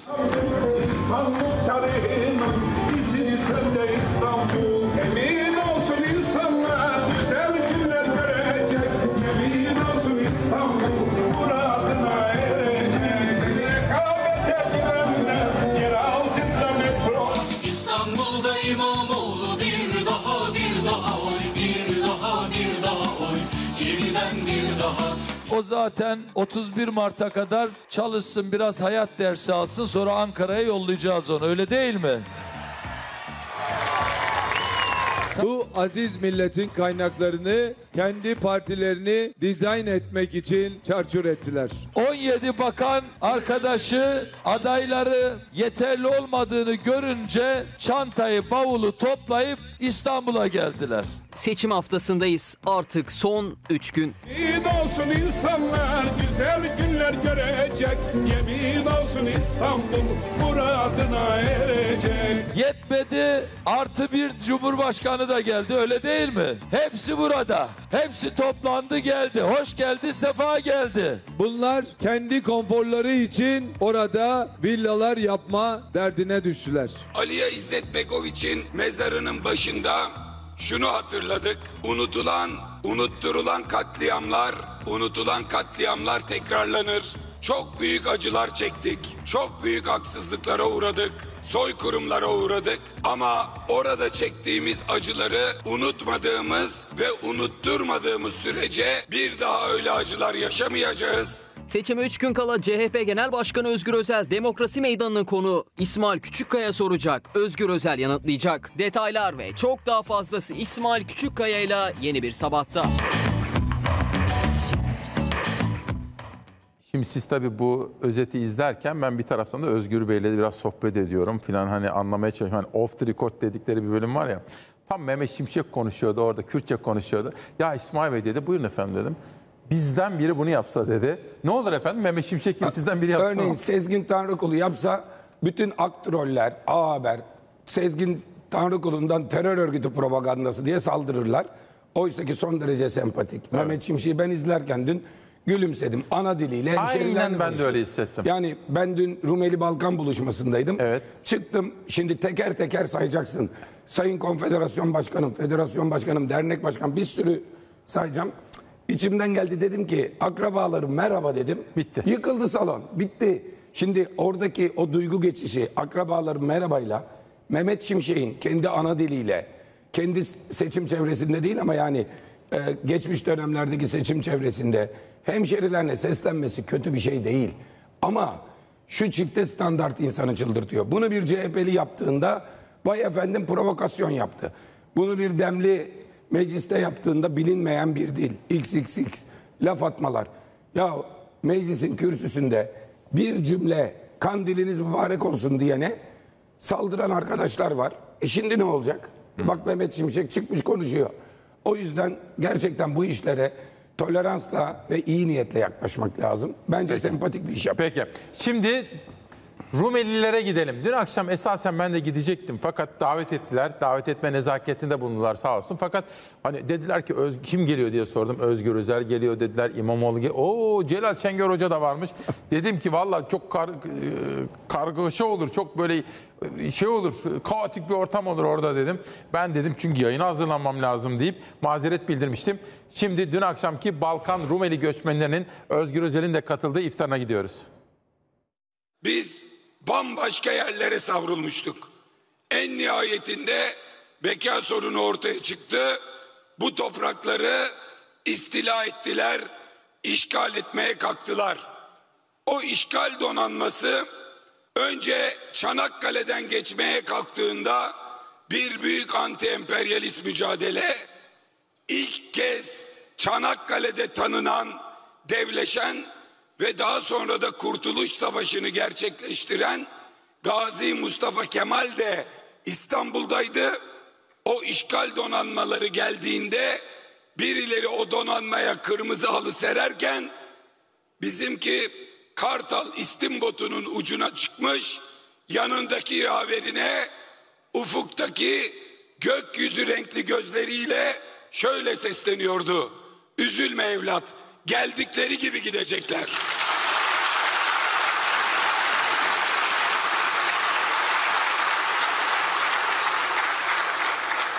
Bu ülkeyi biz kurduk.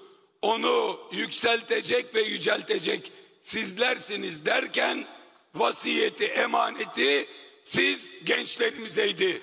Bu emaneti hatırlatıyorum. Aliye İzzet Begoviç'in mezarının başında şunu hatırladık. Unutulan, unutturulan katliamlar, unutulan katliamlar tekrarlanır. Çok büyük acılar çektik. Çok büyük haksızlıklara uğradık. Soykırımlara uğradık. Ama orada çektiğimiz acıları unutmadığımız ve unutturmadığımız sürece bir daha öyle acılar yaşamayacağız. Aleyhimize hiçbir şey bulunamadı. Yani açıkçası 1019 kere bir nevi aklanmış olduk. Milletin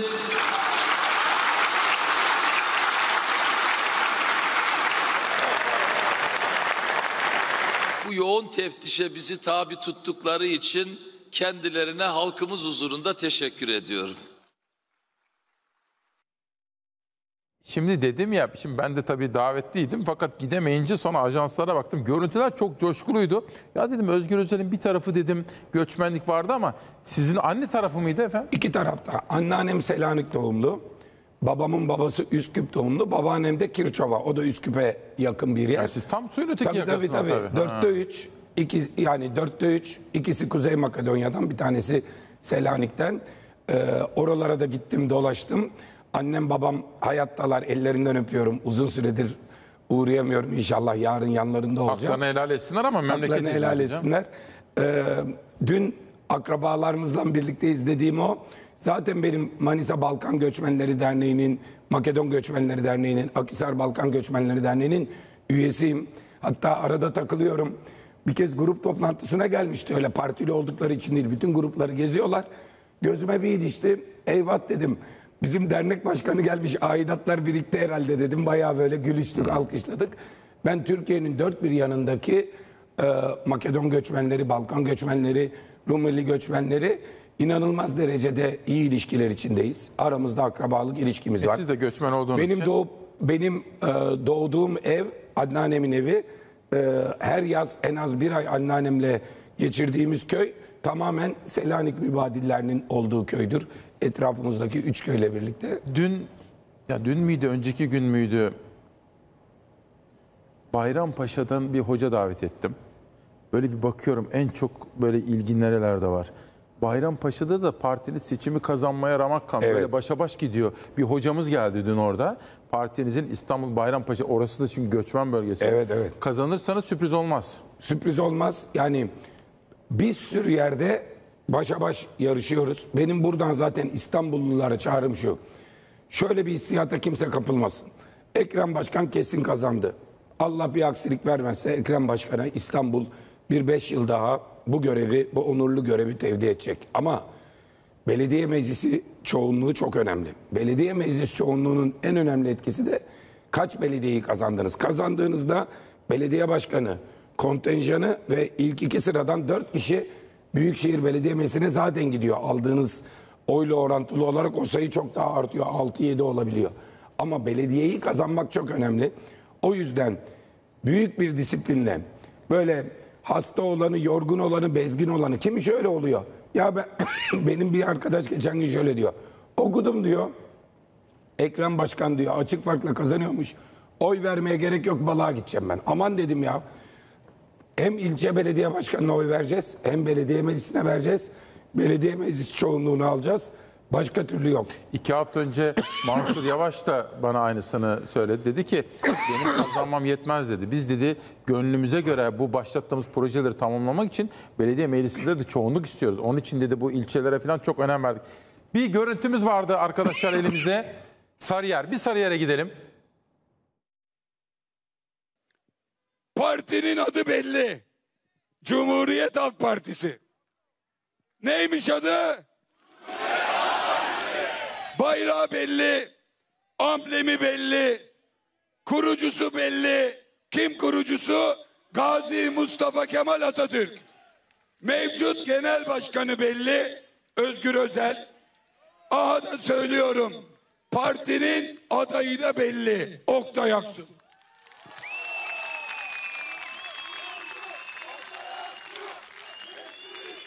Bu partinin bu partinin bu partinin nasıl kurucusu Gazi Mustafa Kemal Atatürk'se amblemi Altıok'sa genel başkanı Özgür Özel'se bu partinin Sarıyer adayı da Oktay Aksu'dur. Nokta.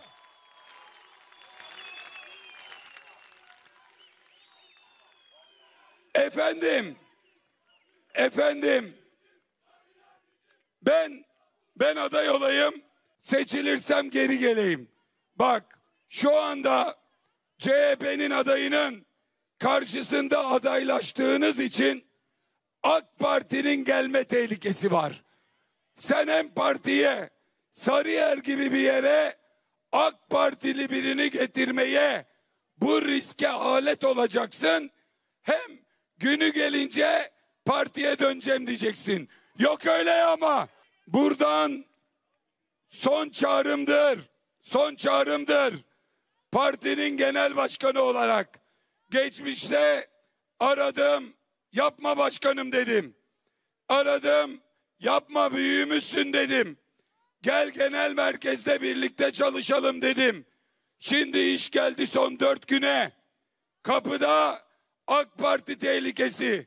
Kazanma ihtimali sıfır. Oktay Aksu kazanıyor. AK Parti AK Parti tehdit ediyor. Eğer gerçekten bu partiye gönül verdiysen bugün yarın açıklamanı yaparsın, çekilirsin. Pazartesi günü gelirim, rozetimi kendim takarım. Yok. Yok. Şimdi çekilmedin. Pazara getirdin. Bize korkulu rüyayı gördürttün. Pazar günü seçimi kazandık. Ondan sonra döneyim. Vallahi kusura bakma. Affedemeyiz. Affedemeyiz. Affedemeyiz. Bu konuyu ben Sayın Özgür Özel'e sormak istiyorum ama önce size bir bilgi vereyim. Perde arkası bilgi. Tam böyle bağımsız aday olup olmayacağının belli olduğu gün. Ne olup bittiğini anlayayım diye Şükrü Genci aradım. Onun yanında da basın müşaviri benim eskiden birlikte çalıştığım Cengiz var. Cengiz açtı telefonu. Müdürüm dedi şu anda dedi genel başkanla konuşuyor dedi. Odadayım dedi. O sırada Özgür Özel'le Şükrü Genç konuşuyor. Uzun uzun bir konuşma gerçekleşti. Tabii ben Özgür Özel'in ne dediğini duymuyorum ama hoparlörü almasını rica ettim. Başkanın da onayını aldı. Şükrü Genç yanıtlar veriyordu. Tamam mı? Dolayısıyla ama ertesi gün aday oldu. Dün de Şükrü Genç ben tabii burada biraz eleştirince kendisini bir gazeteciyiz ama yani siyasetçi eleştiriye açık olacak. Biz Özgür Özel'i de burada eleştirdik ama hiçbir zaman bize kızmadı, gücenmedi. Hani sorularımızı yanıtladı. Yani siyasetçi modern ilişki böyle olur. Şimdi dün diyor ki iftarda, Sarıyer'de iftar. İsmail, ha, sevgili diyor A- Allah'a var. Sevgili İsmail Küçükkaya diyor. Senin yüreğin yetmez diyor buralarda iftara gelmek. Allah Allah dedim ben de ben aday değilim bir şey değilim ben gazeteciyim. Yani 3 dönem belediye başkanı olmuş bir isim. Şimdi bağımsız aday olunca neyse. Sarıyer. Sarıyer'de şöyle bir güçlüğümüz var. Şükrü Genç hepimizin çok değer verdiği, hürmet ettiği, defalarca partimizden aday gösterilmiş Sarıyer gibi bir ilçede partimizi temsil etmiş. Önemli hizmetler yapmış bir isim. Sarıyer'de memnuniyet anketleri yapıldığında şöyle bir şey çıktı. Sarıyer bir değişim istiyor. Sarıyer'de e, böyle hani büyük bir başarısızlık değil ama değişim yönünde ciddi bir talep var. Yani yeter bir değişimin zamanı geldi diyordu anket. Biz bunu Şükrü Başkan'dan konuştuk. Ama Şükrü Başkan kendisinin aday olması gerektiği konusunda ısrar etti ve daha sonra da bağımsız aday oldu. Şimdi durum şu. Anketler. Adayımız Oktay Bey seçimi kazanıyor. AK Parti birkaç puan arkamızda. Yani bunu ben rahat olduğumuz yere rahatız diyorum. Sarıyer'de 2 puan, 2,5 puan, 3 puan arkamızda. %2 de hata payı var. Ben %2 hata payını hep aleyhe düşünürüm. 3 puandan 2 düş, 1 puan var arada. Ya başa baş. Başa baş. Şükrü Genç'in aldığı oyda işte yüzde onlarda, on beşlerde bir oy alıyor. Yani kazanmıyor ama Allah göstermesin yüzde bir fazla oy alsa kaybettiriyor. Ya bu kadar emeğin var. Senin emeğin var, partinin emeği var. Bir de orada Türkiye'nin en önemli üniversiteleri var. Koç Üniversitesi Ha, dün bunu söylüyordunuz Sarıyer'deki konuşmanızda. Evet Boğaz içindeki öğrencilerin önemli bir kısmı orada. Boğaz içinin içinde kayyum var dışında da mı olsun? Koç Üniversitesi'nin etrafını AK Partili kayyum mu saysın? Çoluğun çocuğun geleceği açısından, gençlerimizin umutları açısından çok çok sıkıntılı bir süreç. Çağrınız Çağrım- nedir? Çağrınız. Çağrım Şükrü Başkan çıksın. Toplasın kalabalığı. Biz mesaj atalım bütün CHP'liler de gitsin. Desin ki ben bu görevi yıllarca yaptım. Bir teveccüh göreydim. Bir dönem daha yapacaktım. Anketleri gördüm kazanmıyorum. Ama CHP'ye kaybettirmek benim işim değil. Adayımızın elini kaldırsın. Desin ben de gideyim. Yani bugün Muğla'ya gidiyorum. Atlar gelirim ne zaman derse adayımızın elini kaldırsın. Ben Şükrü Genç olarak yarıştan çekiliyorum. Atatürk'ün partisini Sarıyer'de seçim kaybettirmem desin. Ona yakışan budur. Pazartesi günü büyük bir törenle partiye geri dönsün. Her görevi de kendisine verelim. Şükrü Genç'in paraya pula makama zaten ihtiyacı yok. En onurlu ve en güzel görevleri hep birlikte yaparız. Yılmaz Büyükerşen'in takımına davet ediyoruz. Peki. Şimdi bir de Özgür Özel'den gençlere çağrı var. Dönüşte Kemal Kılıçdaroğlu'nun yaptığı paylaşım. Buyurun.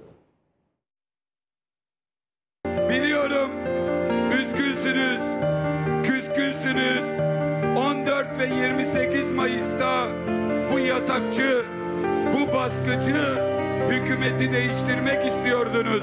Ve hep birlikte çok istedik ancak başaramadık.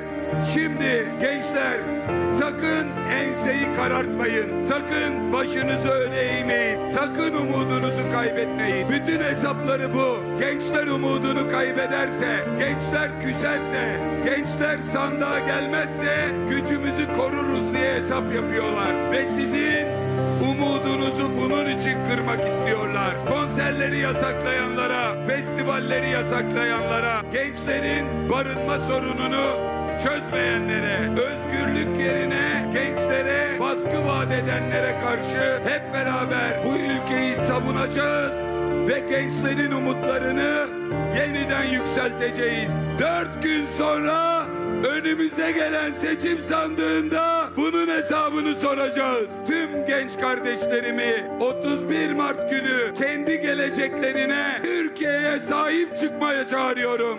Sandık başına davet ediyorum. Evet Sarıyerler'den yoğun olarak mesaj geliyor. Dün Gani Müjde'nin de bir tweetini okumuştum. Hatta biraz sonra arkadaşlar Gani Müjde'nin dün okuduğum tweetini de Sarıyerler için bir kere daha aktaralım. Şimdi Kılıçdaroğlu'na dönelim. Kılıçdaroğlu son günlerde tabii iktidar medyasının da gündemindeki bir isim. CHP'nin bir önceki genel başkanı. Diyor ki sahte pankartçılara, sahte pankartlardan medet umanlara, bir yerlere yaranabilmek için seçimleri manipüle edenlere, kötü kalpli insanlara Bilal'e anlatır gibi son kez anlatıyorum diyor. Şimdi özetle şöyle efendim, ben diyor CHP'nin genel başkanlığını yaptım. Partimin başarılı olmasını istiyorum. Partimin bütün adaylarının belediye başkanı olarak seçilmesini istiyorum. Bunun ötesindeki karalamalar, iftiralarla ilgili olarak da kamuoyuna tepkisini ifade ediyor Sayın Kılıçdaroğlu. Şimdi genel başkanımıza bu tweet'i attıracak kadar ona haksızca saldıranlara ve onu bu açıklamayı yapmaya zorlayan bu düzene lanet olsun. Kemal Bey tweetinde de söylüyor. Her seferinde de açıkladı. Benimle ilgili tartışmalarda açıkladı. E, yeterince çalışmıyor dediklerinde, sahaya niye çıkmıyor dediklerinde açıkladı.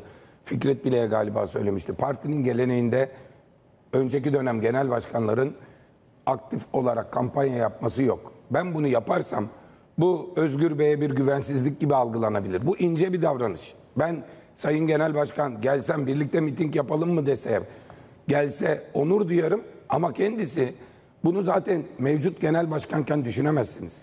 Bunu partinin önceki genel başkanı geçmişten edindiği tecrübeyle, erdemiyle düşünebileceği bir şey.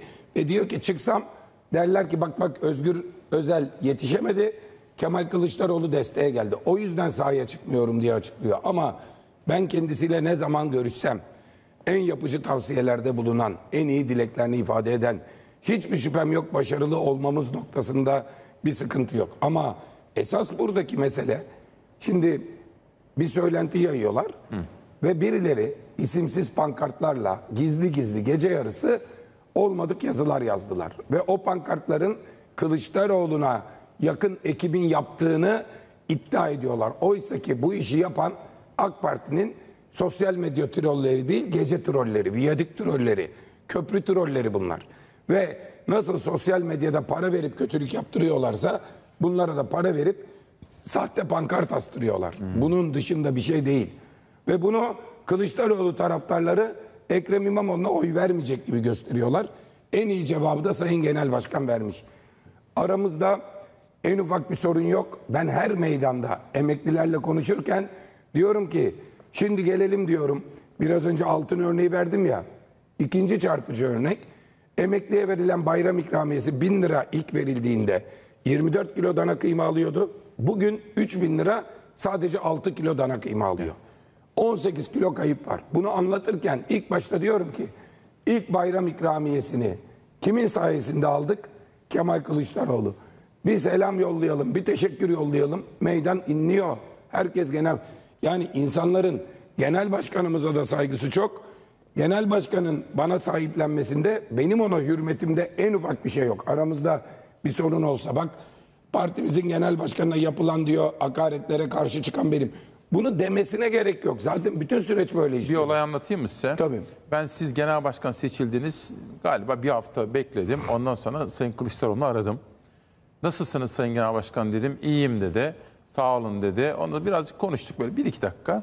Buyurun bir şey mi söyleyecektiniz İsmail Bey dedi. Hayır dedim ben sadece sağlığınız, sıhhatiniz, moraliniz nasıl diye aramak için, sormak için aradım dedim. Çok teşekkür ediyorum dedi. Bir süre sonra da davet etti bir başka gün.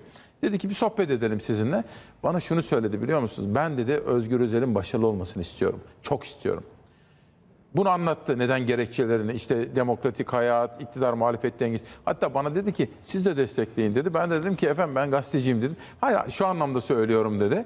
Özgür Özel'in başarılı olması lazım iktidar muhalefet dengesi bağlamında. Ha gayet tabii ki dedi ben ona bazı tavsiyelerde çünkü ben eski genel başkanım o yeni genel başkan. Onun artık bilmesi gerekiyor diye tarihi bazı anekdotları da anlattım dedi. Ama dedi ben Özgür Özel'in başarılı olmasını çok istiyorum dedi. Bana çok sordukları için özelde anlatıyorum. Burada da huzurunuzda anlatmış ve kayda geçirmiş olayım. Ekonomiyle ilgili bir haberimiz vardı. Hazır mı arkadaşlar? Ekonomiye bakalım. Bu seçimin kaderini ekonomi belirleyecek. Ekonomi. Uluslararası Kredi Derecelendirme Kuruluşu S&P, Amerika Birleşik Devletleri ile gelişmekte olan piyasalar için ikinci çeyrek ekonomik görünüm raporlarını yayımladı. S&P, Türkiye'nin 2024 yılı büyüme tahminini yükseltti. Türkiye'ye ilişkin büyüme tahmini 2024 için %2,4'ten %3'e, 2025 için %2,7'den %3'e çıkarıldı. Türkiye ekonomisine dair büyüme beklentisi 2026 için %3'ten %2,8'e çekildi. Raporda gelişmekte olan ülkelerin toplam ekonomik büyüme tahmininin 2024 için %4,1'den %4,2'ye, 2025 için %4,5'ten %4,6'ya çıkarıldığı bildirildi. Bu yıla dair büyüme tahminlerinde Kasım raporuna kıyasla en büyük yukarı yönlü revizyonların 70 bas puanla Meksika, 60 bas puanla Türkiye, 50 bas puanla Peru ve 40 bas puanla Hindistan için yapıldığı bilgisi verildi. Raporda tahminlerin en çok 200 bas puanla Arjantin, 50 bas puanla Suudi Arabistan, 40 bas puanla Macaristan ve 30'ar bas puanla Polonya ve Tayland için düşürüldüğü aktarıldı. Raporda Çin'e dair bu yılki büyüme tahmini %4,6'da sabit tutuldu. Hindistan içinse %6,4'ten %6,8'e yükseltildi. produce around 56 billion litres. Raporda ABD için büyüme beklentisi Şubat raporuna göre bu yıl için %2,4'ten %2,5'e yükseltilirken gelecek yıl için %1,5'te sabit bırakıldı. Ayrıca hedefin üzerindeki enflasyonun bu yıl faiz indirimi yapma kabiliyetini sınırlayacağına işaret edilerek muhtemelen ilk indirimin yaz aylarında geleceği ve 2024'te toplam 75 bas puanlık faiz indirimi öngörüldüğü bildirildi.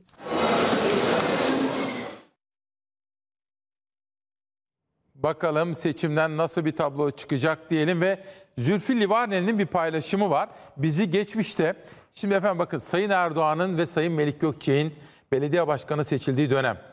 Aslında böyle %22'lerle falan seçildi. Evet evet. Sayın Erdoğan, şimdi Cumhurbaşkanımız %22-23 ile seçildi. Evet. İstanbul Belediye Başkanı. Melik Gökçek de öyle. Ama ondan sonra çeyrek asır boyunca devam etti. Neden? Bakın Zülfü Livaneli ne hatırlıyor? 1994 seçimlerini hatırlatıyor Zülfü Livaneli. Kendisi de o tarihlerde aday olmuştu. İmamoğlu'na oy çağrısı yaptı. 30 yıl sonra aynı yanlışın tekrarlanmaması için. Hatta Sayın Özgür Özel, dün Hasan Cemal'in bir tweetini gördüm. Oyum İmamoğlu'na diyordu. Sonra onu eleştirdiler. Ya adam hem demden siyaset yapıyor hem İmamoğlu'na oy veriyor falan diye. Şimdi bu ne düşündürdü size efendim? Şimdi 89'da İstanbul Belediyesi bizdeydi. 94'te 3 tane sosyal demokrat adayın yarıştığı bir yerde birbirlerine yakın oy aldıkları ve böldükleri yerde aradan İstanbul'da Recep Tayyip Erdoğan, Ankara'da da benzer tabloda Melik Gökçek çıkıp iktidara geldiler illerinde ve o günden sonra da uzun süre İstanbul'u ve Ankara'yı 2019 seçimlerine kadar geri alamadık. Şimdi aldık. Hatırlatması şu. e, kimse oyunu bölmesin. Oyları bir yerde toplayalım. Aynı korkulu rüyayı bir daha görmeyelim diyor. Bu çok önemli. Hem Sarıyer özelinde çok önemli. Örneğin ben bugün Marmaris'e gideceğim. Marmaris'te çok önemli. Ha Marmaris'te de başa baş.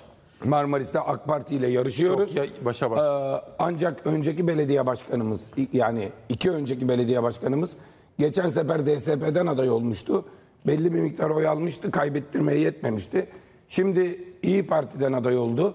Yine başa baş bir durum var aynı Sarıyer gibi. Marmaris'te de özel olarak oyların Cumhuriyet Halk Partisi adayında birleşmesi korkulu rüyayı ortadan kaldıracak. Livaneli'nin hatırlatması hem bütün büyük şehirler için hem de kritik bütün ilçeler için çok önemli. Bir şey soracağım size efendim. Siz kazansanız ne olur mesela seçimi kaybetseniz ne olur? Yani CHP olarak soruyorum. Mesela bu 31 Mart'ta gördüm ben. Hani sizin yönettiğiniz CHP ve adaylarınız kaybetse ne olur? Ee, İktidar kazansa ne olur mesela? Şimdi biz kaybedersek İstanbul'un üstüne pata pata pata helikopter geri gelir. Tayyip Bey ne yapıyor? İstanbul'daki bütün arsalara bakıyor. Onları tek tek yaz Hasan diyor. Özel kalem müdürüne yazdırıyor. Bu Katarlılara, bu Birleşik Arap Emirlikleri'ne, şu Arap ülkesine, bu Arap şeyhine diye veriyor. Onlara İstanbul'un en kıymetli yerlerini veriyor. Verdi verdi azaldı eskisi kadar çok kalmadı. Bu sefer döndü Kanal İstanbul yapacağız dedi. Kanal İstanbul'la İstanbul'un böğrüne bir hançer saplayıp o kanalın etrafındaki arsaları Katarlılara, Araplara veriyor. Karşılığında ne alıyor, ne yapıyor bilmem ama veriyor. İstanbul'un varlıkları maalesef körfez sermayesinin eline geçiyor. Bizim dönemimizde Ekrem İmamoğlu 14 tane yurt yapmış, 100 tane kreş yapmış, sayısız park yapmış, 4 tane de büyük parktan bir tanesini Sarıyer'de ben açtım. Sarıyer'de orada mesela şeyi görelim. Böyle denizden yukarıya inanılmaz bir yer var ve orayı komple Bahçıvan Okulu ve park yaptı. Bütün kurumlara da oradaki küçük küçük yerleri vermiş. Binlerce ağacın içinde muhteşem bir yer. Burasının villa olacakmış AK Parti tarafından. Cumhuriyet Halk Partisi'nin belediye meclis üyeleri, belediye başkanı uzun süre mücadele etmiş. O arsa korunmuş. Geçen sefer Ekrem İmamoğlu olmasa oraya 800 tane villa geliyordu.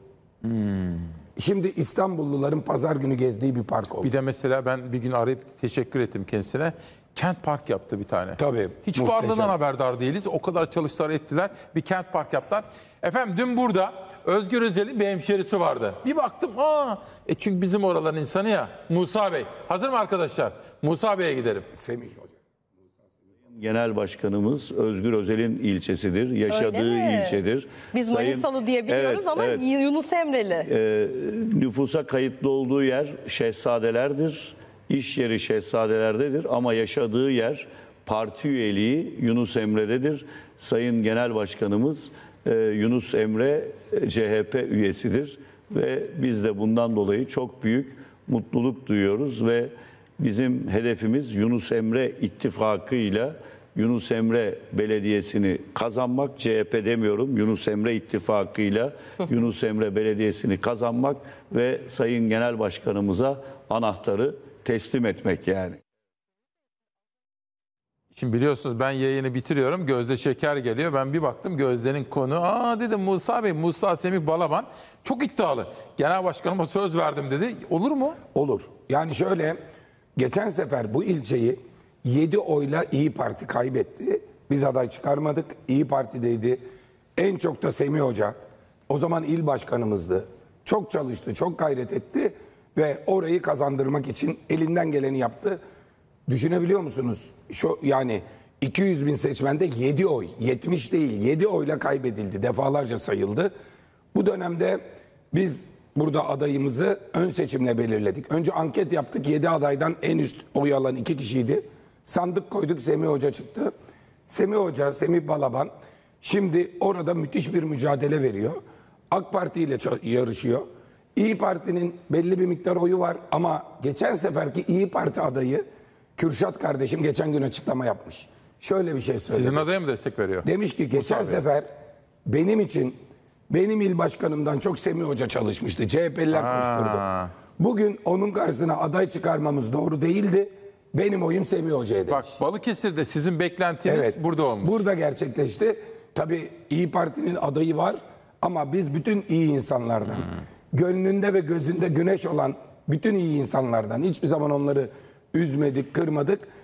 Oy bekliyoruz ve genel olarak da yaklaşımımız şu.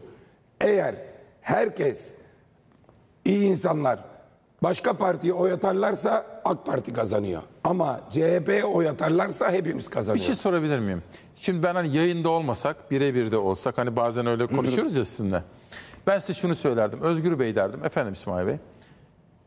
Yani hayat bir matematiktir bazen. Siyaset çoğu zaman matematiktir. Ben de ya Özgür Bey derdim. Şöyle bir pazarlık yapsanız. Balıkesir'de siz çok öndesiniz. Ama Turan Bey çekiliverse siz kazansanız. E, Ordu'da da iyi Parti kazanabilir. E siz de orada çeksin. Ya böyle şeyler olmuyor mu mesela? Biz bunu çok teklif ettik. 3 Mart'a kadar yüz yüze iki kez ardından telefonlarla, ricalarla, aracılarla gerçekten böyle şeyler yapılabilir. Yapılabilir aslında. Ama adaylar çıktıktan ve bu noktaya geldikten sonra artık iş seçmenin vicdanına kalıyor. Aday bir sürü emek vermiş oluyor, ailesi var. Turan Bey iyice mesela aslında Balıkesir'de adaletin, vicdanın kantarının ne dediği ortada. Turan Bey de e, aldığı oyla kazanma potansiyeli hiç yok. Yani pazartesi günü işte siz sabahleyin eğer ki Turan Çömez kazanmaya yakın bir oy alırsa ben mahcup olayım. Ama Turan Çömez'in alacağı oy kaybettirmeye yönelik bir oy. Ve Balıkesir'de bir vicdan terazisi var. Ahmet Akın'ın yıllardır emeği. Geçen sefer elimizdeki belediyeyi İyi Parti'ye verdik. İyi Partilerin hiçbir suçu yok. O zamanki adayları İsmail Ok elleriyle AK Parti'ye hediye etti. Sonra da AK Parti'ye katıldı. Şimdi de AK Parti'den milletvekili. Ben zaten efendim hep şunu gördüm Sayın Özgür Özel. Bizim halkımız böyle haksızlığa uğrayanın yanında yer alıyor. Mesela bakın bu benim görüşüm. Ben Mansur Yavaş'ın aslında bir önceki seçimi kazandığı kanaatindeyim. Evet. Gözlemim o. Ama öyle böyle O kataküllü... gece elektrikler gitti geldi. Kediler, trafo, murafo. Melih Bey bastı orayı gitti geldik. Ama bak halk bekledi. Bir sonraki Hakkını dönem verdi. verdi. Şimdi belki de iki yerde rekor kıracaksınız. Evet, Gözlemlerim doğruysa biri Ankara, biri Mersin mesela. Büyük rekorlar kıracak sizin partiniz. Şimdi keza mesela ben Balıkesir'de de böyle bir şey bekliyorum. Ya ben çünkü o bölgenin insanını da iyi tanırım. Ben Balıkesir'i Balıkesir'e iki kez gittim. Merkezdeki çalışmanın dışında geçen de aynı gün araları 160'ar kilometre Edremit, Bigadiç ve Bandırma'ya gittim. Muhteşem bir hava gördüm. Balıkesir'i kazanacağız. Balıkesir'in vicdan terazisi. Bakın Balıkesir'de ne siyasete, ne adaya, ne söyleme, ne slogana, ne vaade. Ben Balıkesirlilerin vicdanlarına güveniyorum. Balıkesir'de vicdan terazisi Ahmet Akın'dan yana ağır Peki. basıyor. Manisa'da Arkadaşlar, da bir cümle söyleyebilir lütfen. miyim? Manisa adayınızı da davet ettim. O da iddialı. Ferdi Bey 10 numara birisi. Şunu söyleyeyim. Yunus Emre'de de Şehzadeler'de de. Şehzadeler'de de 34 yaşında kadın adayımız var Gülşah Durubay. İkisi de AK Parti ile nefes nefese yarışıyorlar. Manisa'da İyi Partililer başka partiye oy verirlerse AK Parti kazanıyor. CHP oy verirlerse onlar da kazanıyor. Çünkü o belediyeler ortak belediyemiz olacak. Hep birlikte yöneteceğiz. Ee, Büyükşehir adayımız mimar. Manisa'daki dünya kadar kent suçuna karşı durmuş. Çok başarılı. Bir de Mimar Sinan'ın e, son kalfalık eseri. Ondan sonra gidip e, Süleyman e, Selimiye'yi yapmış. Sonra Süleymaniye'yi yapmış. Onun önüne Mimar Sinan'ın heykelini yaptıran, her sene Mimar Sinan'ı orada anan, Manisa'nın tarihiyle barışık, inanılmaz sevilen bir isim ve Manisa'da Ferdi Zeyrek 17 ilçede muhteşem bir hüsnü kabul gördü. Göreceksiniz seçim akşamı bir aksilik olmazsa Manisalıların teveccühüyle Manisa'da Ferdi Zeyrek çok önemli bir başarı elde edecek. Peki. Şimdi efendim Mısra Öz'le ilgili bir paylaşım dikkatimi çekmişti. Onu da sormak istiyorum. Şimdi bakın ben bilmiyorum Özgür Bey ben şöyle söyledim. Şimdi ben oy kullanmayacağım diyenleri ben anlamıyorum. Bak tamam şımarıklık bu. Bana diyorlar ya ben oy Ka- kardeşim o zaman ülkeyi sevmiyorsun. Şimdi bakın Mısra Öz. Ya bu dünyada bakın ya adalet için yürüyor kadın ve mücadele ediyor, çalışıyor, çabalıyor. Siz de yanındaydınız. Ben buradan okuyayım bunu. Sandığa gitmiyorum, küstüm, bıktım. Bu sözleri duymaktan nefret ediyorum. 6 yıldır şu ülkede ölümün içinde hayatta kalmaya çalışırken birçok şeyden bıksam da geleceğim ve umutlarımla ilgili hiçbir şeye küsmedim. Birilerine küsüp kendimi cezalandıramam çünkü. Oğlumu benden alanlara ödül verme hakkım yok. Aşık olduğum İstanbul'u onlara bırakmaya gönlüm yok. Sandığa giderken Çorlu tren katliamını unutma. Yanımızda olanları olmayıp da bizi eziyet edenleri unutma. Ben oyumu kullanmak için İstanbul'a gidiyorsam olduğum yerden sen de bir zahmet sandığa git. Ve elbette ki İstanbul'da oyum her daim yanımda olan Ekrem İmamoğlu olacaktır. Şimdi bu benim tabii subjektif yani kendi değerlendirmesi. Ben kimsenin nereye oy vereceğine falan karışacak değilim. Ama oy kullanmayacağım demeyi kabullenemiyorum. Ben de öyle düşünüyorum. Birincisi Mısra Öz'ün tüm duruşmalarında CHP olarak yanlarındaydık. Ben de Şubat ayında karar duruşmasına gittim. Duruşmayı 25 Nisan ertelediler. 25 Nisan günü de çok daha kalabalık bir şekilde hepimiz hem Mısra Hanım'ın hem tüm ailelerin yanında olacağız. Hayatını kaybeden 25 insanın, 25 evladımızın yanında olacağız. Ben şu yaklaşımı şuradan biliyorum. Mısra Öz'ün duruşmasına bir tane MHP'li bir tane AK Partili gitmediyse beni yalnız bırakanları, beni her gün öldürenleri ödüllendirecek halim yok demesi son derece anlaşılır. Şöyle bir şey söyleyeyim.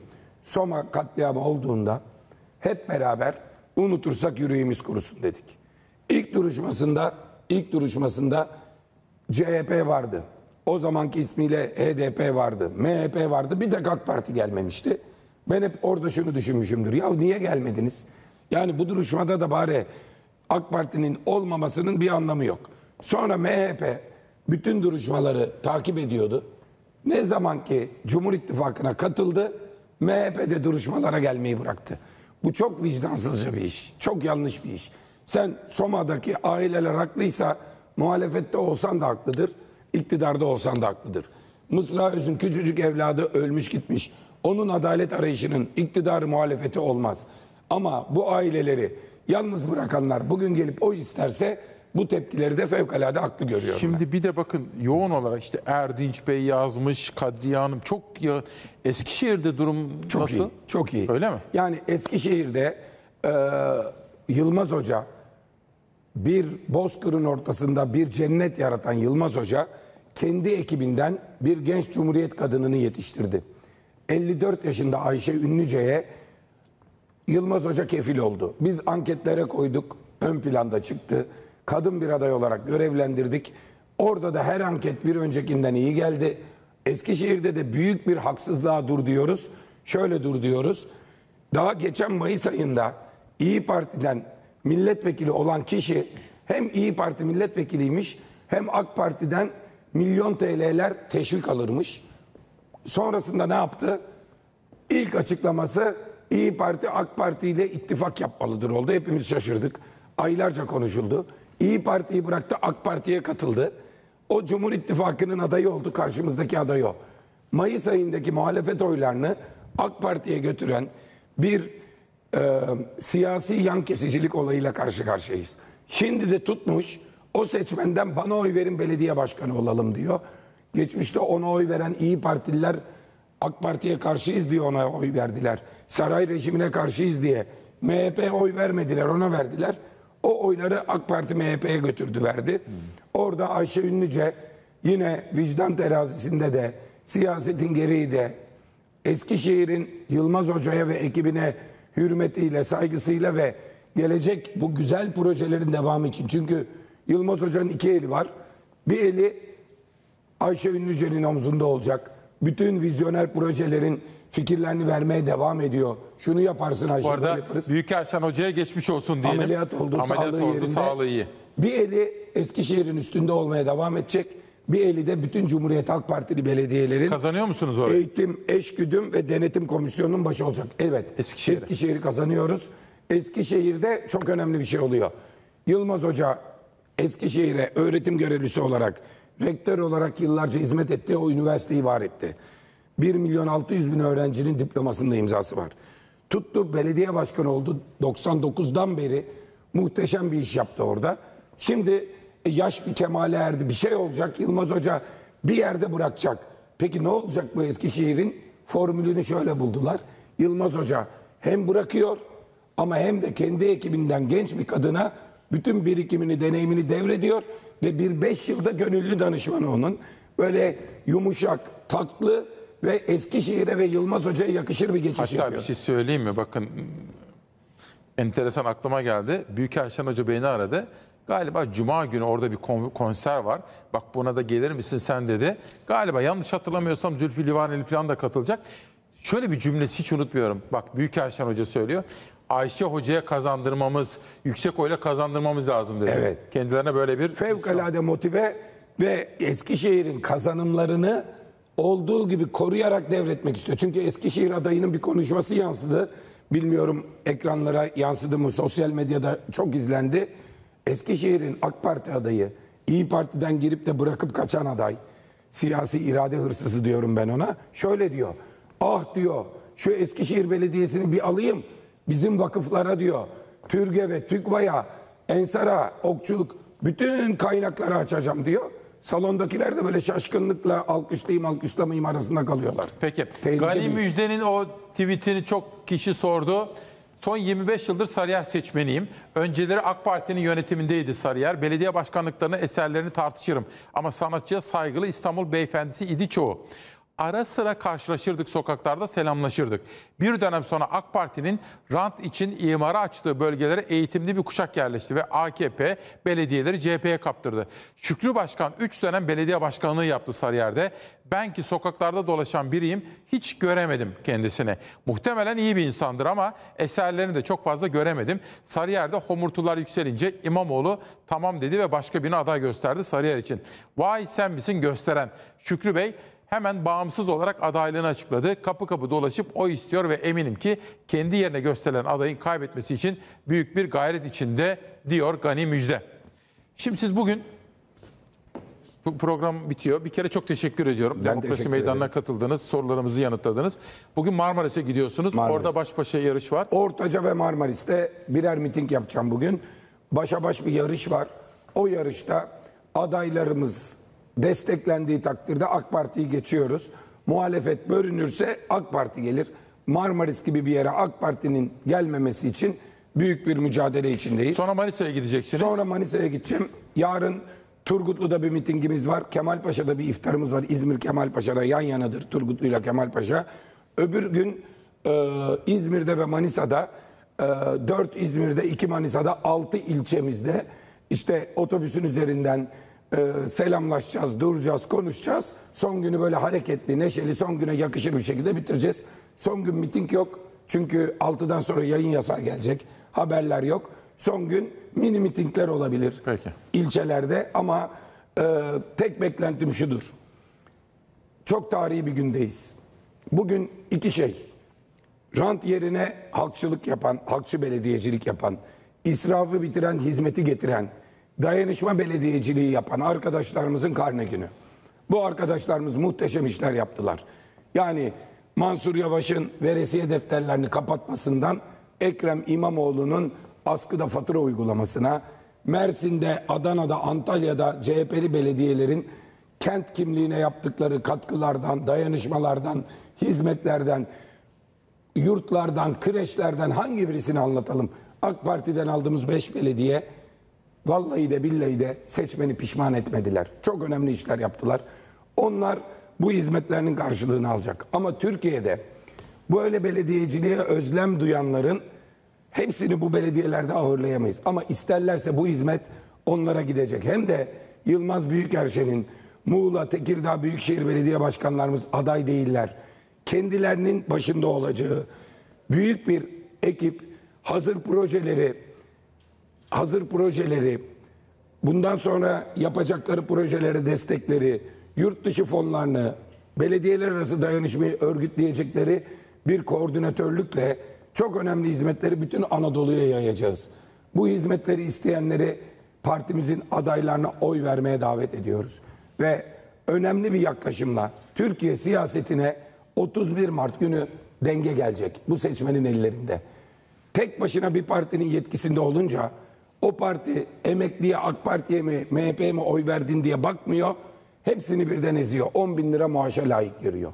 Ama bir denge olursa onların hakkını savunan birileri olursa biz onları ezdirmeyiz. Ve bu dengesizliği dengeleyecek bir iş olacak 31 Mart'ta.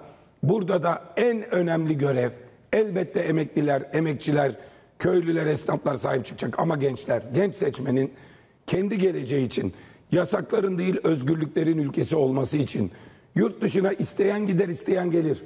Ama bu ülkeden kurtulmak istiyorum, burayı kaçıp terk edilecek bir yer olarak görmemeleri için, bu vatana sahip çıkmaları için 31 Mart'ta gelip oy kullanmalarını bekliyoruz. Bütün gençleri sandık başına bekliyoruz. Bakın AK Partili gençler de dahil bütün gençleri sandık başına bekliyoruz. Çünkü genç sandıktan umudunu keserse ülkeden umudunu keser. O yüzden hangi partiye oy verecek olurlarsa olsunlar bütün gençler gelsinler oylarını kullansınlar. Türkiye Cumhuriyeti Gazi Mustafa Kemal Atatürk tarafından gençlere emanet edildi. Biz de gençlere emanet ediyoruz. Sayın Özgür Özel, CHP Genel Başkanı çok teşekkür ediyorum. Ben teşekkür ederim. Değerli izleyenlerim katılımınız için çok çok sağ olun. 28 Mart 2024 Perşembe gününde Halk TV'de İsmail Küçükkaya ile Demokrasi Meydanı'nda ülkenin ana muhalefet partisi lideri Sayın Özgür Özel'i ağırladık. Yarın seçimden önceki son yayın, özel yayın. Görüşene kadar hoşçakalın.